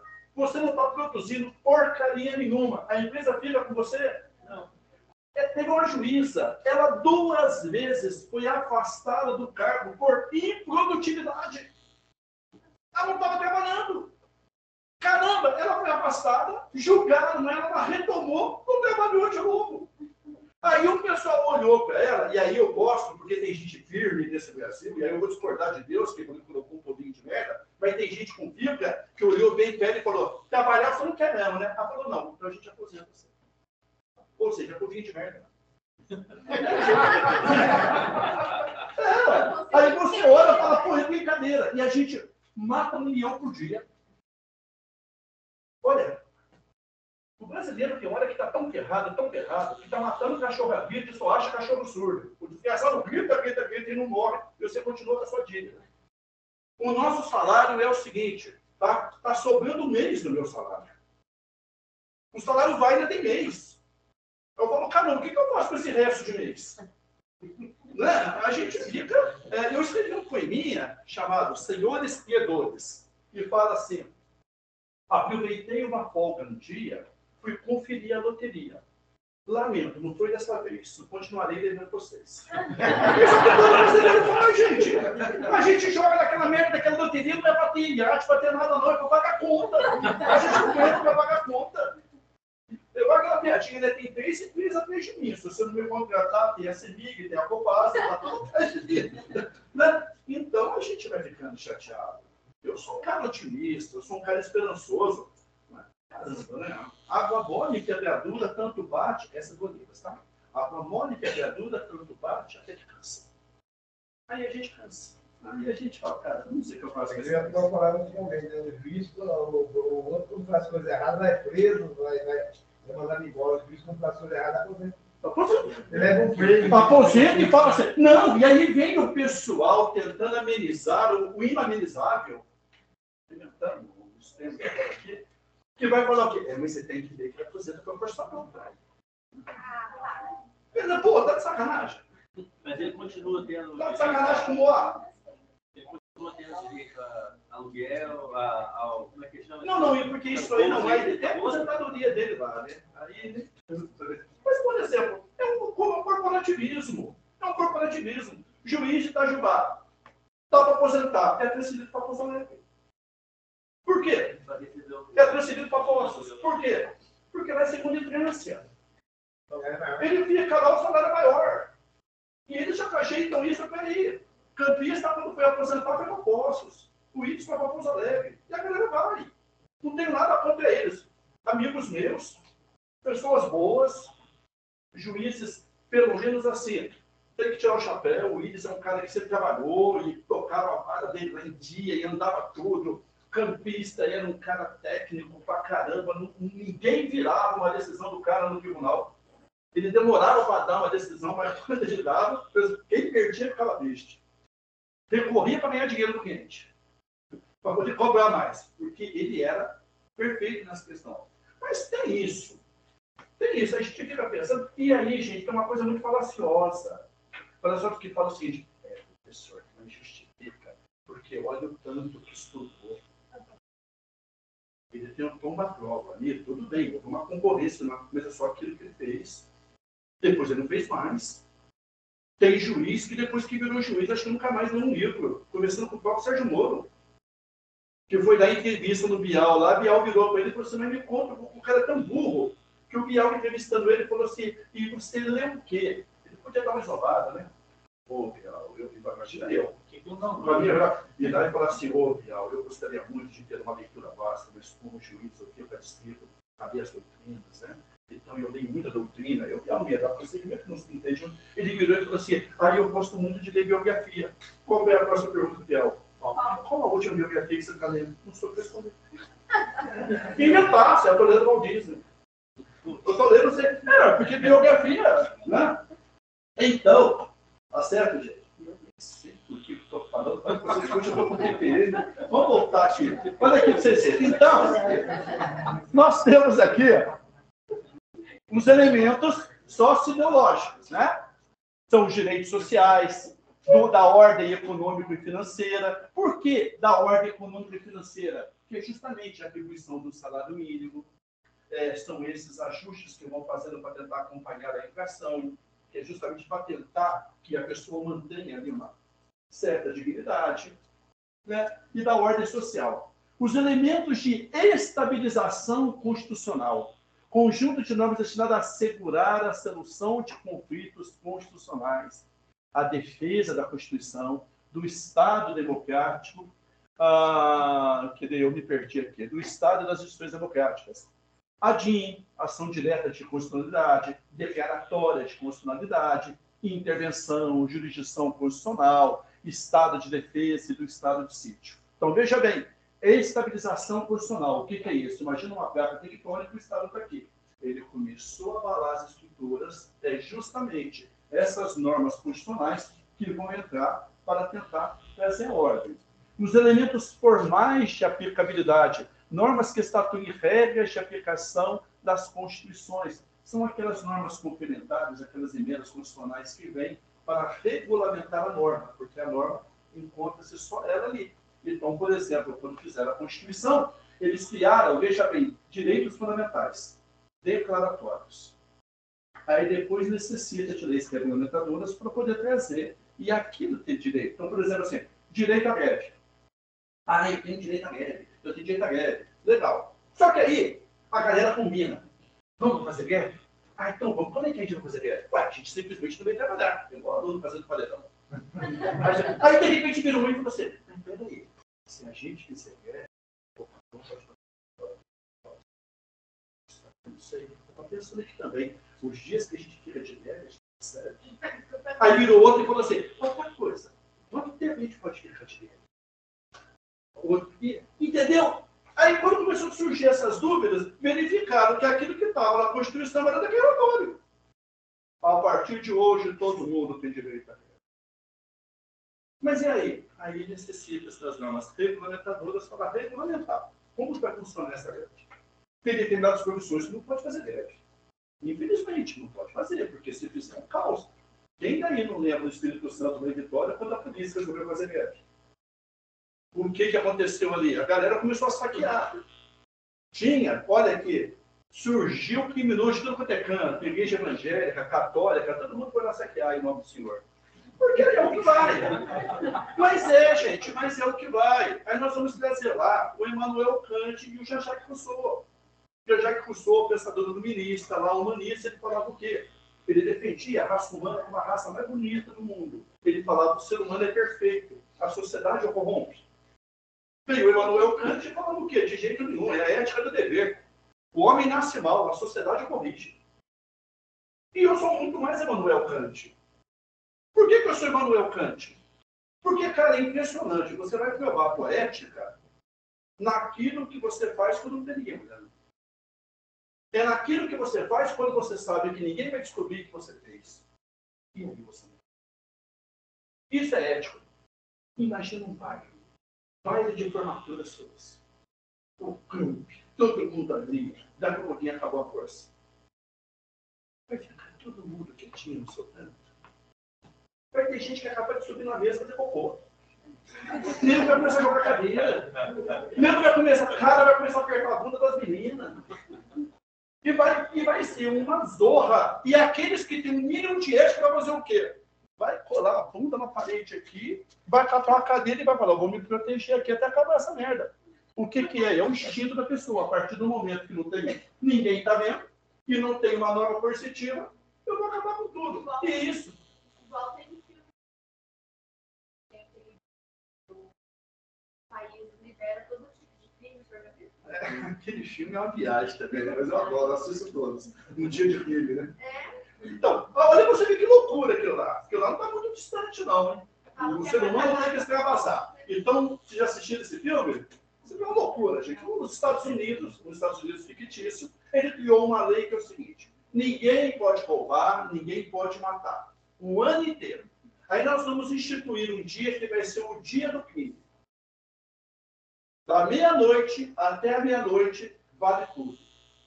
Então os caras saem matando, saem saqueando. Eu não preciso de um plano, não. Ética. Teve uma tsunami lá, lá no Japão. Tá? Lá no Japão. O que, que aconteceu? Os japoneses, tudo que eles achavam de valor, eles foram colocando num determinado lugar para que as pessoas depois pudessem ir lá identificar o que era dela, para poder pegar de volta, inclusive dinheiro. Gente. Todo o dinheiro, levavam para um lugar só. E a pessoa ia. Os supermercados de lá começaram a fazer o seguinte: aqueles que tinham uma condição melhor não iam no supermercado e deixavam o que estava lá para aqueles que tinham perdido. Uma outra. Um outro. Segundo Brasil. Se você falasse para o segundo, um igualzinho. Se você falasse para mim assim, qual que é o país dos meus sonhos, eu falava assim, ó, um país, a organização da Alemanha e a ética do Japão. Falei, Se eu não me engano, a galera estudando também, parece que eles arrecadaram a grana para ajudar a gente. Sim, tá. O dinheiro sobrou, parece que eles devolveram do lado. Sim, eles doam, é, eles devolvem. New Orleans, Nova Orleans, Estados Unidos. Tsunami. Nego morrendo, galera pulando, cara pedindo socorro e arrebentando as coisas para roubar. Itajubá, enchente de 2000. Teve uma padaria em Itajubá que pegou o pãozinho que estava como se fosse hoje 50 centavos e jogou o pão aos 3 reais. Opa, eu quero ganhar isso. Teve gente que aproveitou a enchente para entrar nas casas, fingindo que ia ajudar a tirar móveis e roubar. De canoa. Então, gente, olha aqui. Galera, poxa, a gente fica chateada. Galera, voltando aqui, então. Voltando aqui. Então, veja bem. Ah, dos princípios fundamentais. Né? Aí, dos princípios fundamentais, vocês veem que eu estou fazendo uma questão com vocês, depois que você já deve ter visto, mas é só para a gente fazer uma introdução ao direito constitucional. Né? Primeira aula é uma aula mais assim mesmo, mais tranquilinha. Né? Então, veja bem. Primeira coisa que tem, o que são princípios? Né? Aí eu trago uma definição para vocês. Segundo o grande Miguel Reale, princípios são verdades ou juízos fundamentais que servem de alicerce ou de garantia de certeza a um conjunto de juízos, ordenados em um sistema de conceitos relativos a cada porção da realidade. Por que a cada porção? Por exemplo, propriedade é um princípio, liberdade é um princípio, vida é um princípio, que são aplicados em segmentos diferentes e que são necessários para todos. Tá? Os princípios são as ideias básicas de um sistema ao qual dão sentido lógico e harmonioso, possibilitando compreender a sua organização. Na ordem jurídica, existem dois tipos de normas: regras e princípios. Então, vamos entender. Norma é gênero, regra e princípio são espécies. Princípio é uma espécie de norma e regra é uma espécie de norma. A diferença está no quê? Olha um exemplo de regra. Artigo 155 do Código Penal. Subtrair para si ou para outro em coisa alheia móvel. Pena reclusão de 1 a 4 anos e multa. É uma regra. Ela traz o quê? A tipificação do crime, o que, que não pode ser feito e traz a punição é a sanção dele. A, a lei, a, a norma, quando regra ou quando lei, ela é coercitiva e ela é imperativa, que nós estudamos também no primeiro, no, no, no, no, no anterior. Lembra das características da norma jurídica? Bilateralidade, generalidade, coercitividade, administratividade, imperatividade. Tá certo? Normas jurídicas são aqueles princípios mais leves e moda igual a lei. Sim, é, tem doutrinas que trazem essa diferenciação também. Eles pegam princípios e regras como uma espécie de norma e depois eles trazem a própria norma como sinônimo de lei. Tá? Então, aí vai depender muito da, da, do tipo de doutrinador que você pega. Tá? O importante para nós guardarmos é, se nós lembrarmos que, quando falamos em normas, nós falamos em é, diretivas de conduta. São diretrizes que são usadas. Então, olha o que, que é o princípio, gente. Todos são iguais perante a lei. Dentro desse princípio, a gente vai trazer o quê? A gente vai trazer ah, por exemplo, a pessoa não tem como pagar um advogado. O Estado coloca a defensoria pública, porque todos têm que ter direito à defesa. Todos são iguais perante a lei como? Que, ah, é, vamos colocar assim, é, não tem, a lei, ela não olha o pobre e o rico. Ela é aquilo que nós falamos na primeira aula também, nós trabalhamos a Temes, né? Da balança, com a espada. A balança é a ponderação ali, é aquela que vai ponderar os direitos e deveres, vai ponderar a justiça. Aquela balança, ela é o todos iguais perante a lei. Tá? É aplicado para todos. De forma simplificada, pode-se dizer que princípios são regras basilares de um sistema, as proporções básicas que irão informar determinado sistema jurídico integrando-se a ele. No direito hebraico, o decálogo de Moisés é um alicerce das leis mosaicas. É o princípio que veio, e a partir daquele princípio, então, eles vão construir as leis deles. Né? Então, quando lá no princípio do decálogo fala, né? É, não desejar a mulher do próximo, eles já vão trazer lá no, no, no, na lei mosaica o adultério. Né? Eles já vão trazer outros segmentos de leis ali. Né? E aí nós chegamos nos princípios fundamentais constitucionais, que nós não vamos falar sobre ele, ele fica para a próxima aula. Eu quero que vocês, daqui a um pouquinho, vocês já peguem e já comecem a separar o grupo, deixa eu ver se é grupo de cinco ou quatro, para quando nós retornarmos, vocês fazerem atividade também. Tá? Deixa eu ver aqui. É de cinco. Ô, gente, peraí, deixa eu só dar uma contada rápida aqui. Dois, quatro, seis, oito, 10, 12, 14, 16, 18, 20, 22, 24, 26, 28, 30, 32, 34, 36, 38, 40, 42. Eu vou precisar de duas dessas. Tá. Eu falo ficar quieto para contar, vocês misturaram aqui, misturou minha cabeça. Desculpa, filho. Tá bom?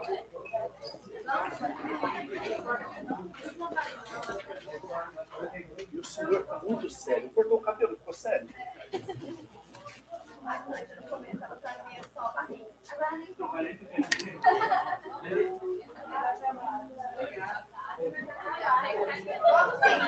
Conta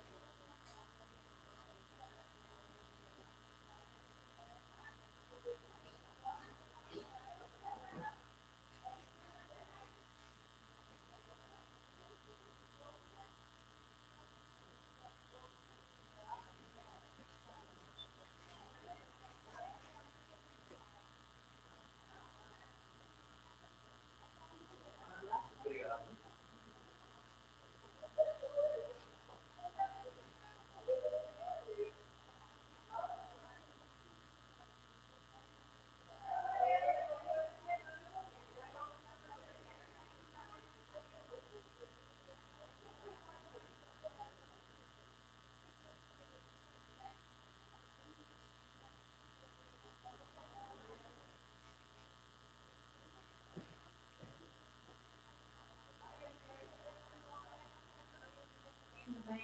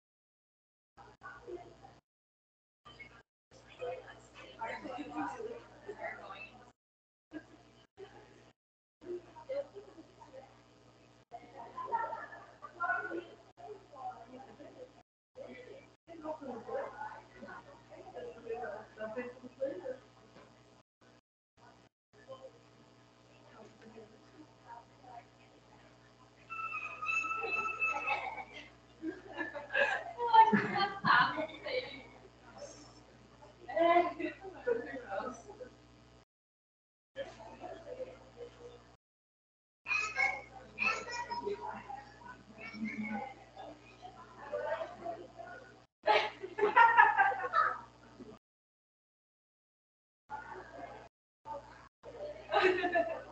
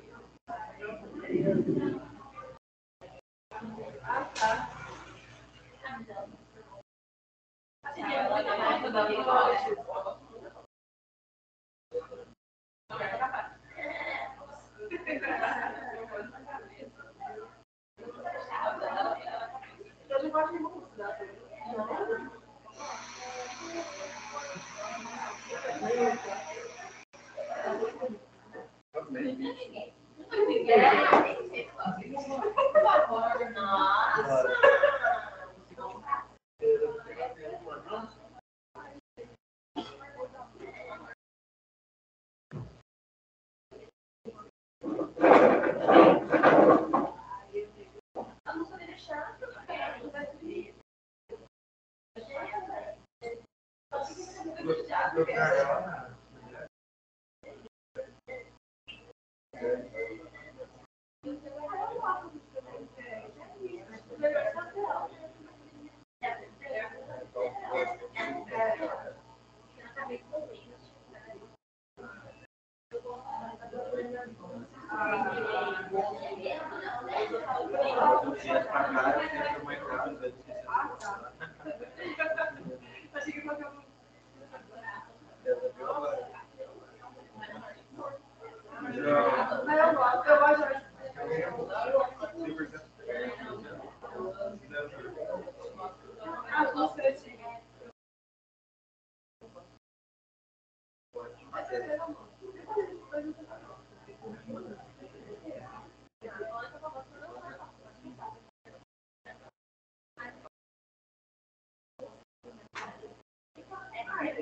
esse é feito de-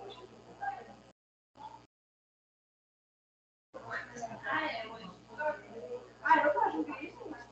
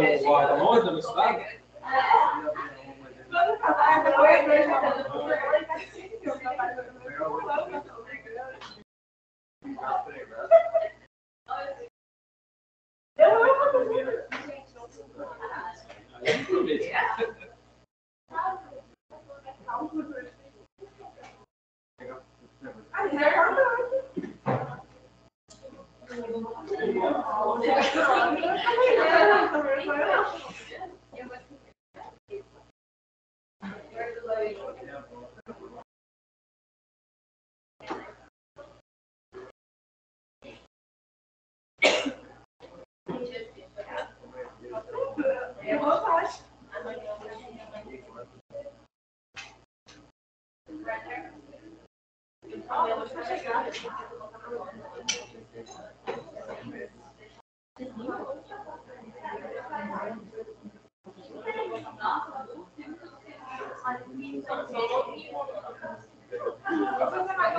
Ah,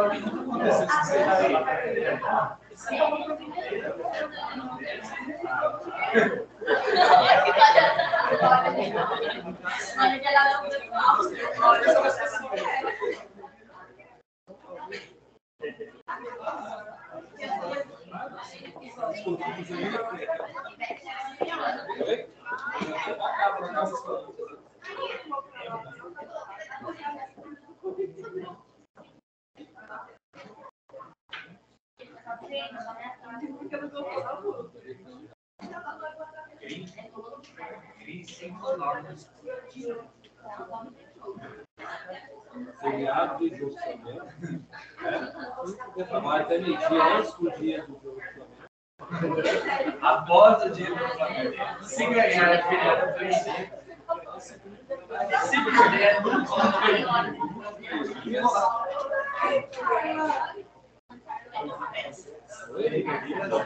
não vai ser.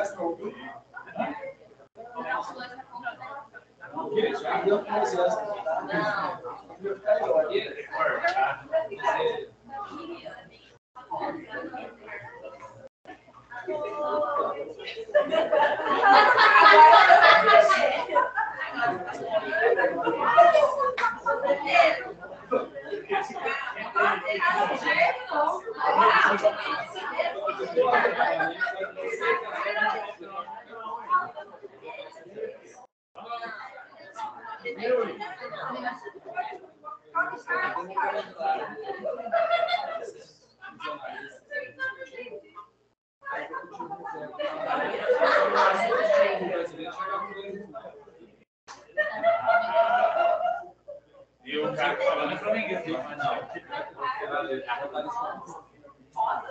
Quem você conhece? Sou mineiro de verdade. Mas eu rapaz. Ganhamos Supercopa. O Tá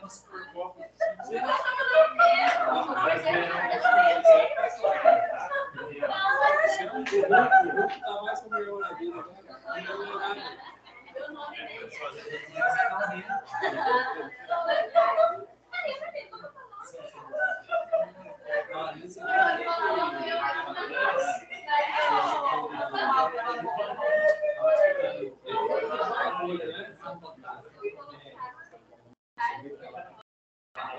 eu na vida. né? Falei, ó. Eu já casei e falei assim, ó, para sessão de trás que eu vi, a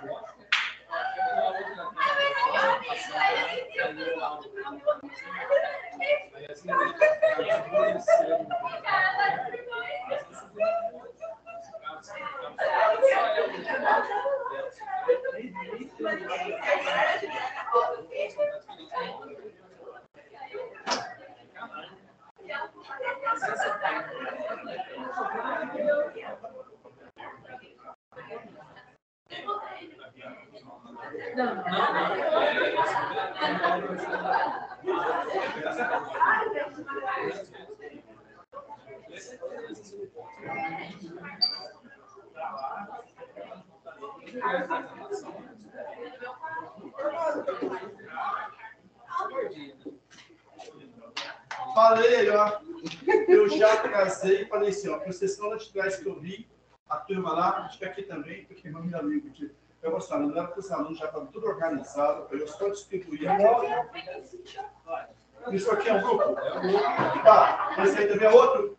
Então tá bom. Não tá aqui quem falou.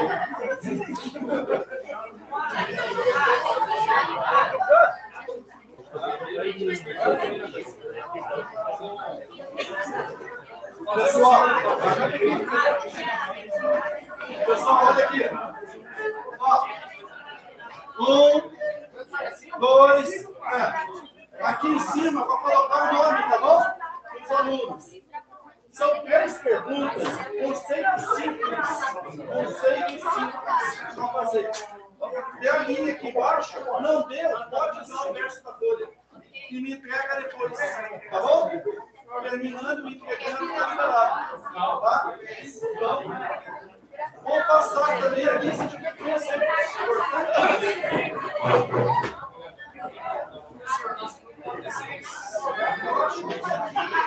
Tá?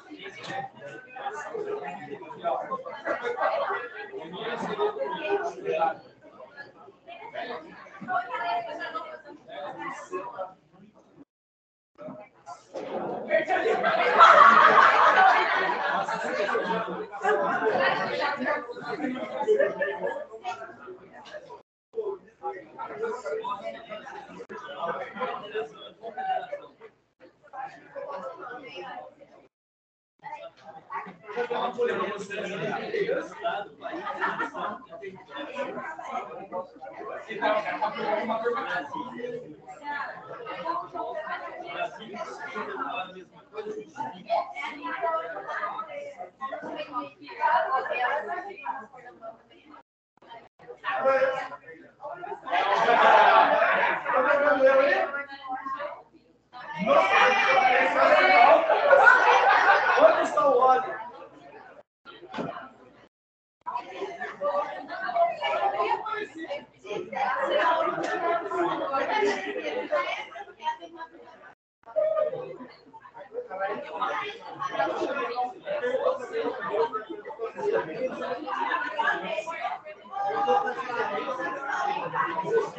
Coisas se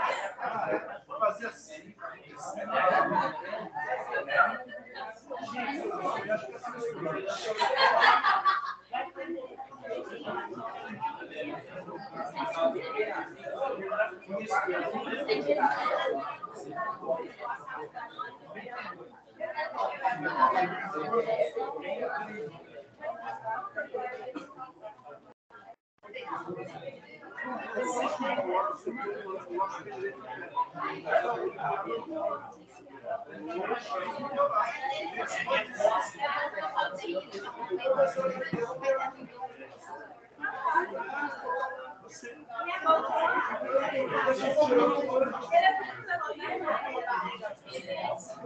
Ah, é, vou fazer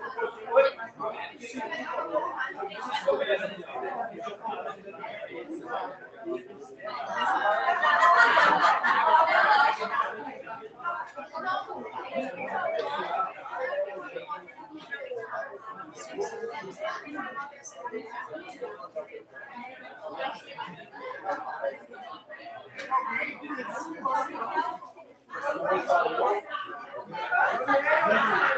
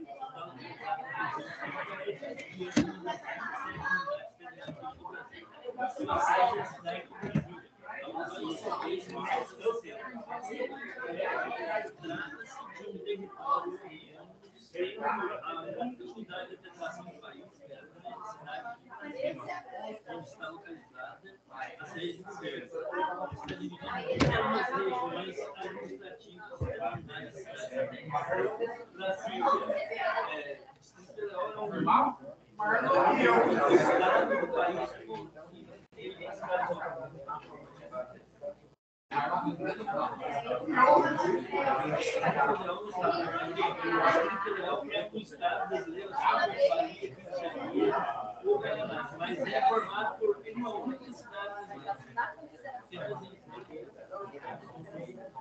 Então, Brasília é a mesma Federal,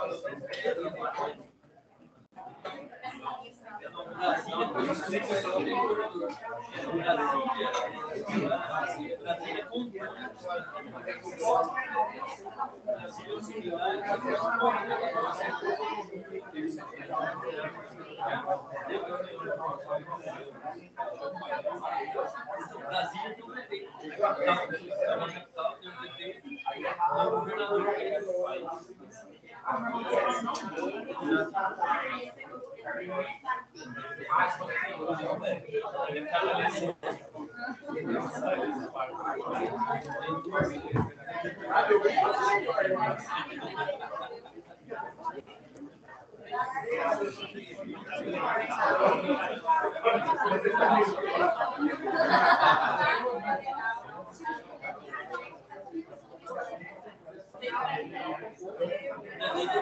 Thank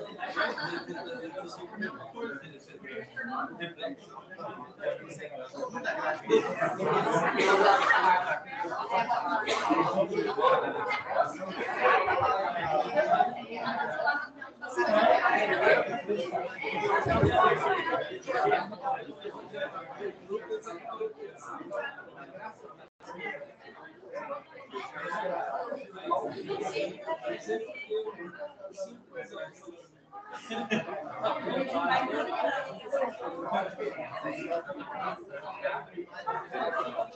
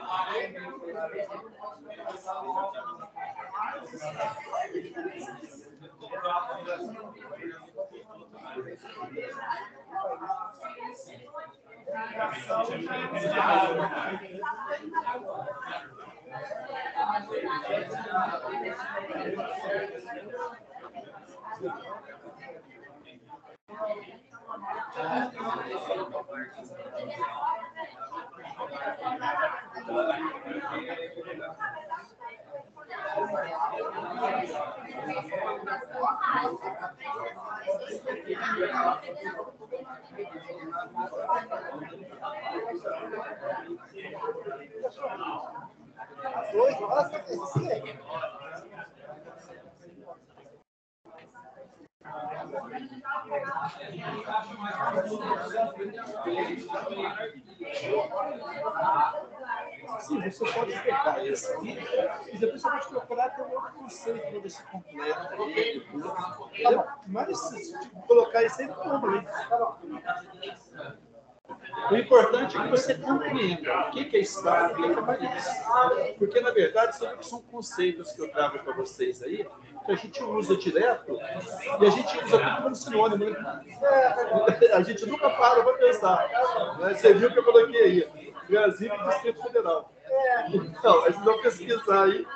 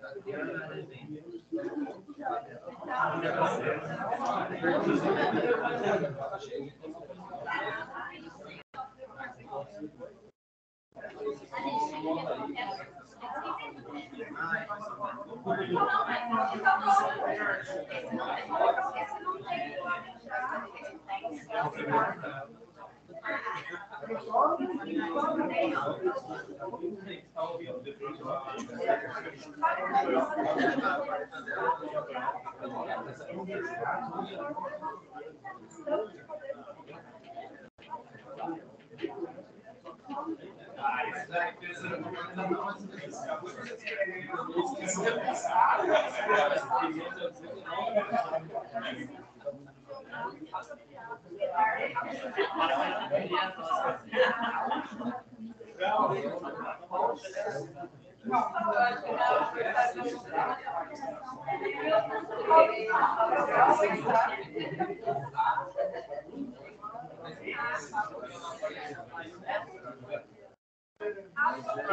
Chile,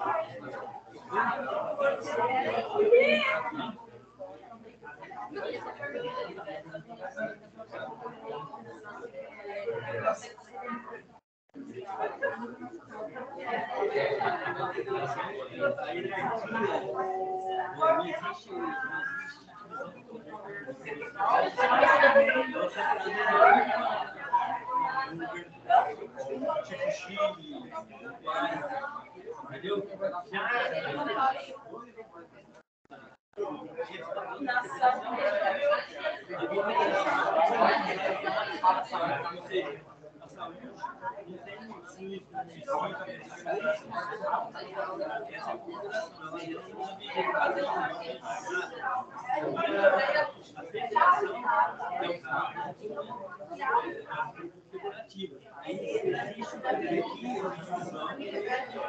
que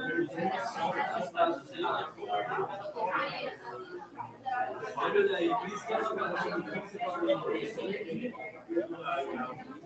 a nível nacional. Então, tudo que você vai fazer o governo federal é muito. O Estado não tem essa responsabilidade maior. Por exemplo, educação é, e outras coisas mais que o governo tem.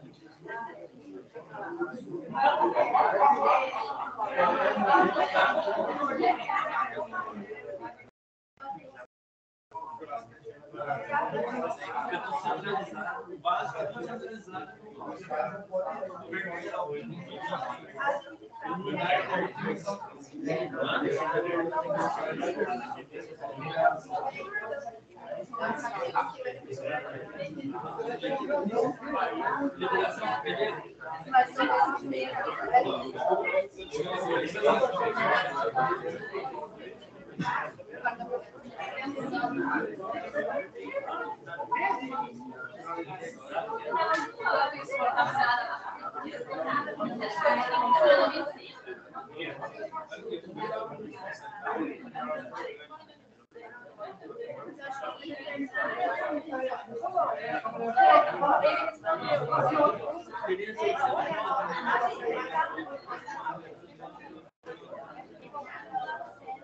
não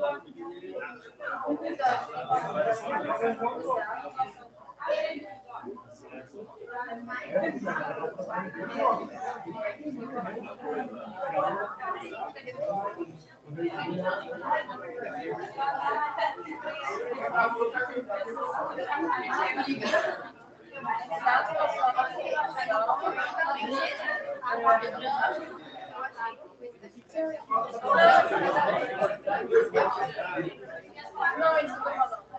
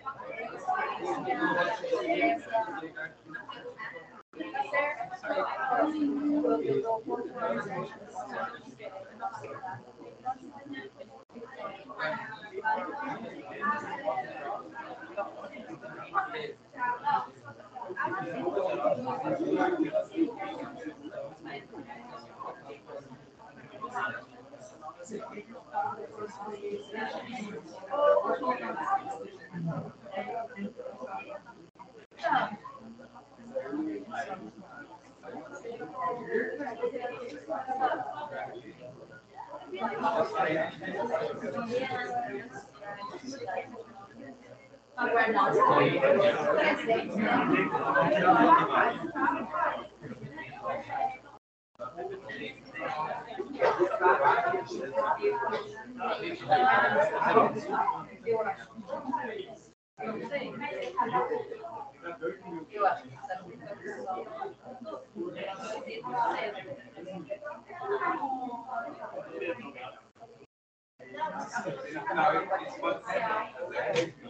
negócio de é, eu não sei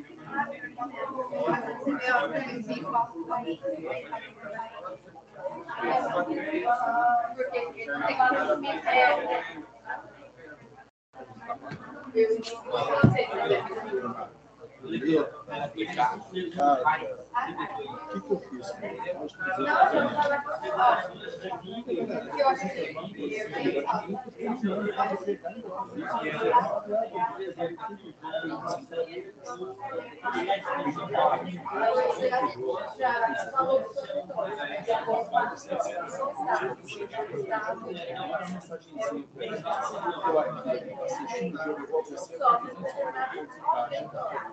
Aí eu dou um exemplo. Pessoal, pessoal, um minuto de atenção, por favor. Tudo bem com vocês? Deixei as minhas falarem. Sejam bem-vindos a mais um semestre.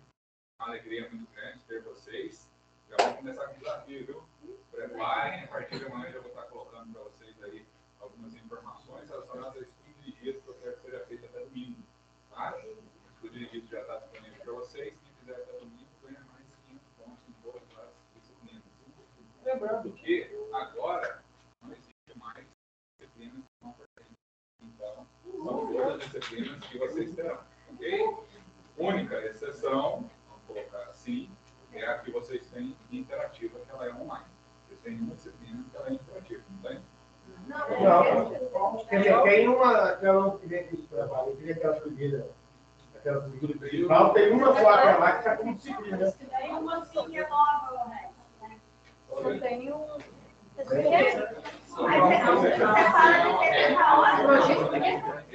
Porque a gente tem quatro, quatro pessoas tela.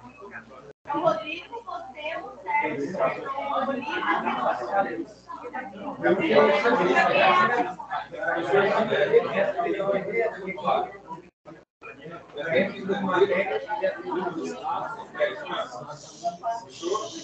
Só quatro professores, vocês não têm sido interativos, então, reforçando o que eu falei, 500 pontos para cada um entregar o estudo dirigido. Entregar, professor? Realiza toda a atividade, emite o certificado. Já vou adiantar, Taione depois me ajuda com isso de comprovação. Está tendo problema no sistema? Para a emissão do certificado. Tá? Então você consegue fazer tudo, mas não emite o certificado. É, tá, tem que então, lá, fala que. Para julho, né? Pra julho, Voltou. E, e o meu lá não apa- não aparece, aparece tá tem, né? É. Mas só aparece para colocar, é, para colocar como forma como tem. Na boca dele não aparece, ele jogou para aquilo. Mas para quem tem que ter 20 e. E é como que é? Isso. Eu divido, mas assim, Depois eu, eu vejo isso daí. Mas no estudo dirigido, esses 5.500 pontos é de avaliação formativa. A minha aula está Não tem? Nós vamos trabalhar isso daí. Mas voltando a falar do estudo dirigido, então, só para a gente fechar esse raciocínio. Até domingo. Tá bom? Manda no grupo certificado para mim. Mandar no meu pessoal. Tá? Professor, agora acabou aqueles questionários lá, né? Vai ter competências para a vida além do estudo dirigido. Não, mas aqueles questionários na, na matéria não tem mais. Abre daqui, abre daqui a pouco. Vai ter. Tá? Só 19. Segunda-feira, qualquer presente aqui, tá novo. Ah, Todo semestre tem. Se vocês quiserem, semestre passado, agora abre um novo. Tá? Tudo bem? Outro ponto, rapidinho, só para a gente alinhar. Brasília. Tá? Tem informações sobre Brasília. Seguinte, pessoal. é, por que, que eu ainda não estou trazendo informação fechada? Eu ainda não consegui, em razão da pandemia, apesar de ter até consultado uma, uma pessoa lá de Brasília, a gente conseguir assistir uma sessão no Supremo Tribunal Federal. Os ministros não estão permitindo. Então, o que que a gente faria em Brasília? Apenas legislação técnica. A gente conseguiria conhecer o Congresso, o Supremo, o TST, mas como visitação técnica. Eu queria que a gente assistisse uma sessão. E aí tem uma limitação de 15 pessoas. 100. Então, assim, hoje eu tenho uma lista, juntar de todas as turmas, quase 40 pessoas interessadas. É, qual vai ser, e aí assim, na hora que eu tiver a data do Supremo, a minha prioridade é o Supremo Tribunal Federal, em tese eu estou marcando dias 8, 9 e 10 de novembro, para a gente fazer isso, terça, quarta e quinta. É, o preço eu achei justo até então, mas vejam como o preço que eu tenho no mês passado. Quem trabalha nessa área sabe que passagem aérea muda todo dia. O valor que eu tinha até então era de 1.500 reais para 20 pessoas. 1.500 por pessoa para um grupo de 20 pessoas. Incluía ônibus até São Paulo, avião, depois ônibus em Brasília e os passeios que a gente iria fazer lá. É, não tem como falar se vai ser isso o preço mesmo, porque quem está isso para mim é o Marcinho da CLC. Tá? Na hora que eu tiver a data do STF, fechei o STF, isso é comigo, aí eu falo com vocês, pessoal, ele vai dar orçamento. O que, que nós vamos fechar? Vamos fechar uma turma de 20 alunos. Professor, qual a prioridade ou ordem? Quem foi fechar com o Marcinho? eu não vou escolher entre vocês, não posso fazer isso, né? Quem é A ou quem é B é quem for lá e fechar o contrato com ele, porque aí está garantindo a vaga no ônibus. Porque outra coisa é era ele vir para o ônibus até São Paulo, cansativo, então vamos fazer isso de ônibus, tá? Ele falou também para a gente fazer de ônibus até Brasília, falei, jamais. Então, avião, ônibus, tá? Então, é, é, isso que eu queria atualizar para vocês sobre o Brasil, que eu falei que eu trazer um retorno, mas ainda não trago um fechado o raciocínio para o Brasil. Ok? Todos vocês que surgir, a gente vai se falando, termina o trabalho, o Corinthians vem daqui a pouco. Tchau! Ah, acho que a gente vai entender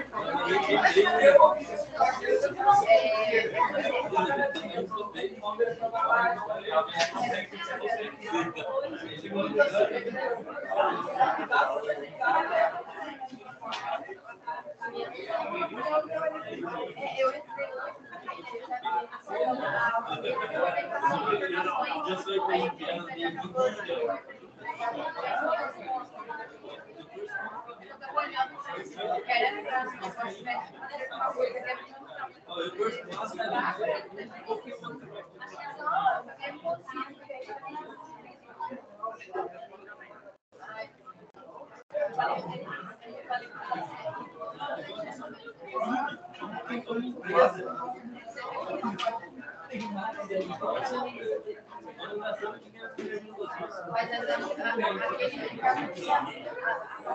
ela aumenta mais conforme. É, porque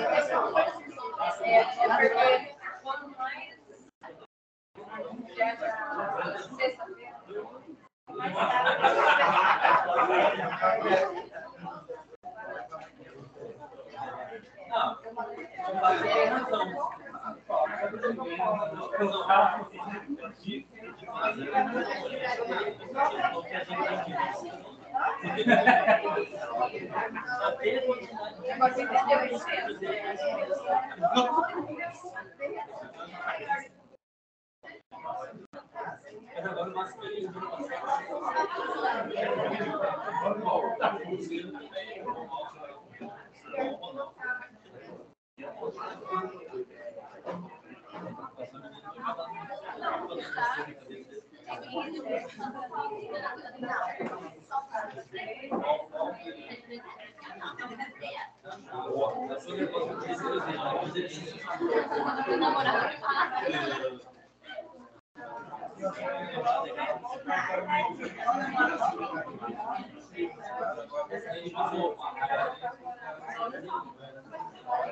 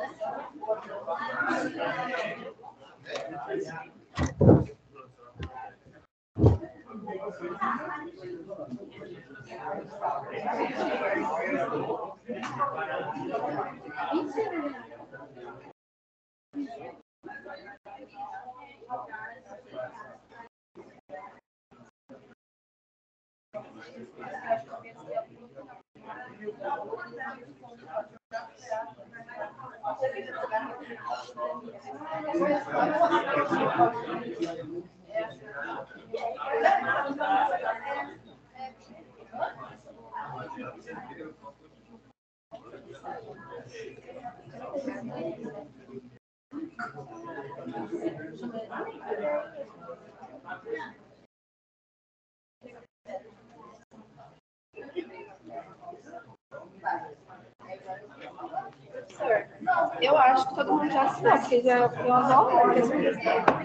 Mas... Pessoal, todo mundo assinou a lista de presença? Todo mundo assinou? Esse grupo assinou a lista? Vocês assinaram a lista? Quem assinou a lista? Todo mundo assinou.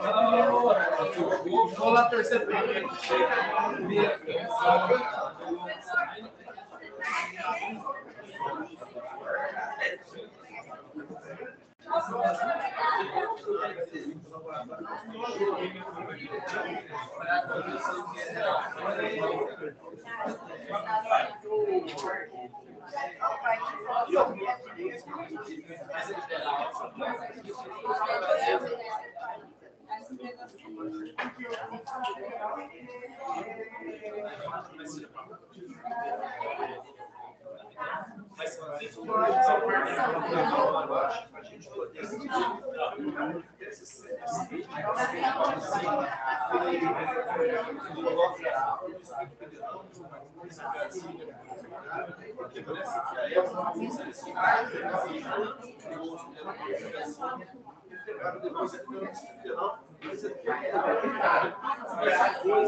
Vou lá torcer pra ele.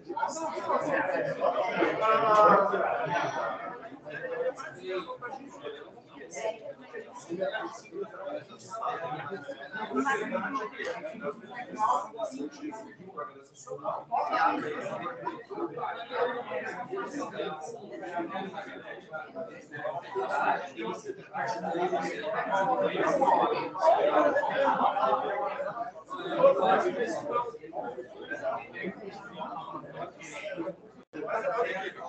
isso para chegar nessa Tudo isso para chegar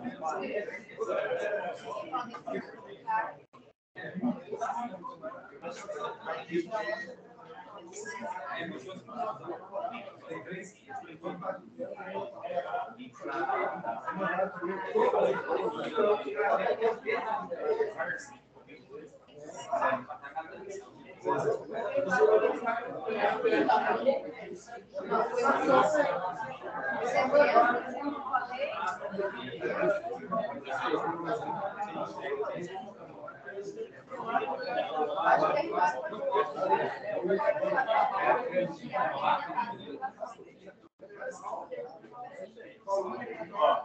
Amanhã lá. Deixa eu ver aqui na Tá aparecendo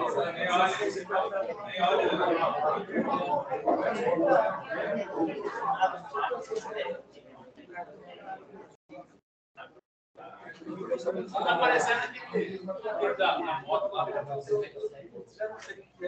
Marquei lá. Eu vou pensar do que tá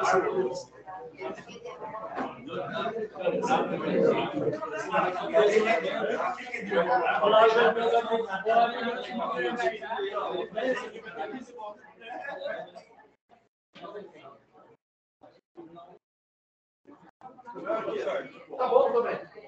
Isso é errado. Agora sim.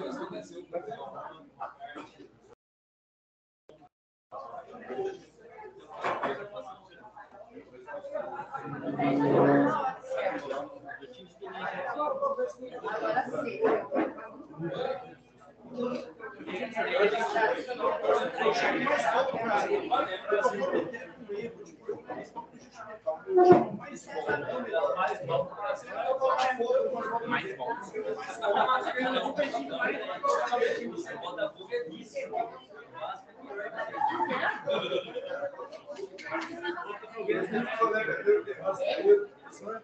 bom. Botafogo é isso. Eu joguei educação, né?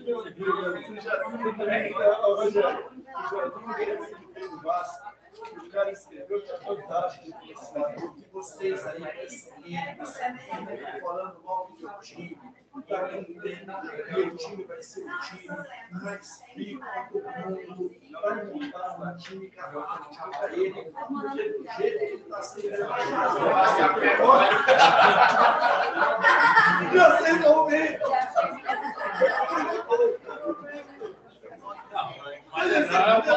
Aí,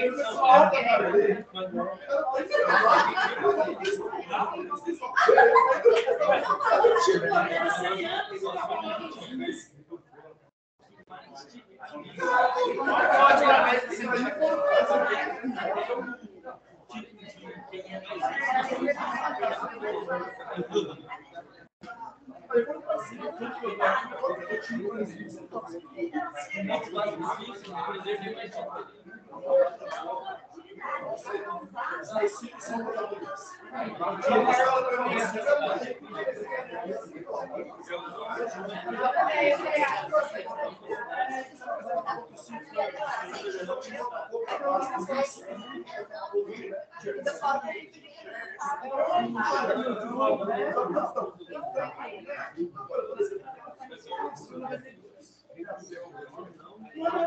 coisa.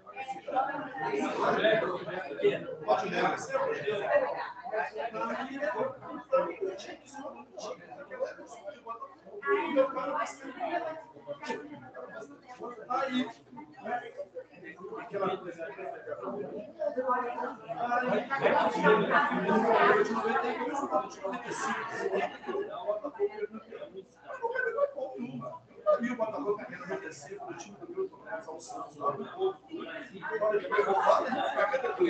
Aí, né?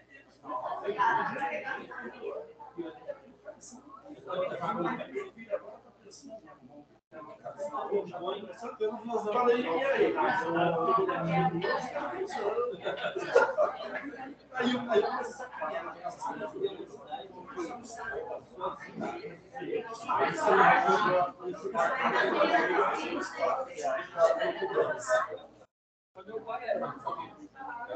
Mas vocês, vocês, todo botafoguense a gente boa, né? Todo botafoguense a gente boa. Pode tinha uma marca do mas ele não deixar. Meu pai é botafoguense, seis filhos. Dois dominguistas, um vascaíno, atleticano e corintiano. Seis irmãos. Eu sou o Uma da Caxeta, É, mas o meu pai na época, eu falei, não, Botafogo. Eu sou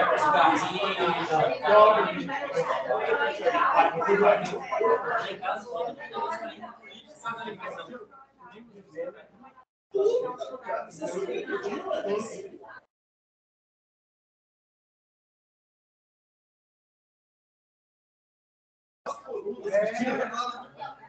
É muito doido. Fernando Vascaíno,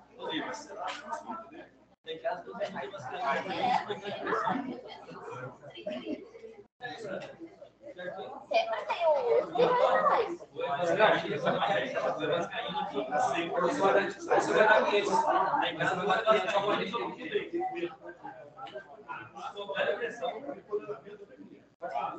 Essa mulherada é é, a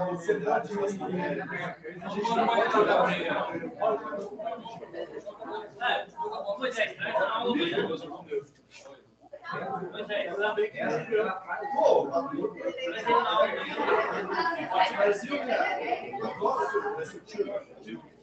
Ele é do pai. Pai é Alberto. Ele é O Werder no mundo dos anos, né? Werder do dois Werder. Então, tio meu também, que o senhor conheceu deve o Monte Carlos, o prefeito do.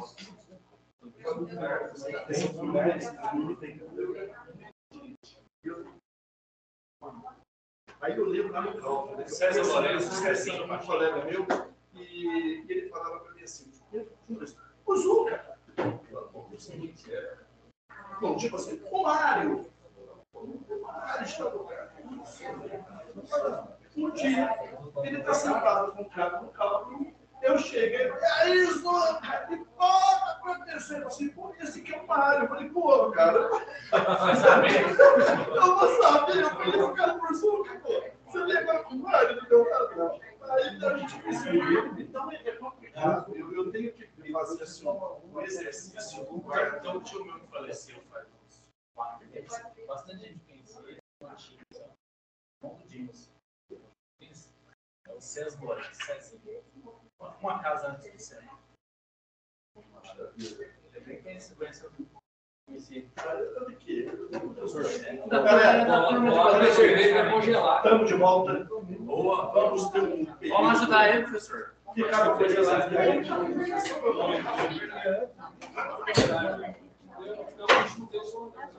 Você sabe o que é, mas, por exemplo, o terceiro período sem. Porque o terceiro período eu estou dando aula no no segundo, no quarto e no quinto. Porque não dá também, né? A gente. Sim, porque na semana só. E assim, é, a gente vai melhorando, né, cara? Então, o Sergião tem que pegar outras disciplinas lá. O senhor tem que. Senhor dá mais aula na semana. A gente tem que dar o. O senhor dá cinco aulas na semana. Assim, não, meu, na verdade, aqui eu estou segunda, terça e quarta, esse segundo semestre, e quinta sexta eu não fico. Eu fico com a semana. E a gente tem uma segunda na. Mas o meu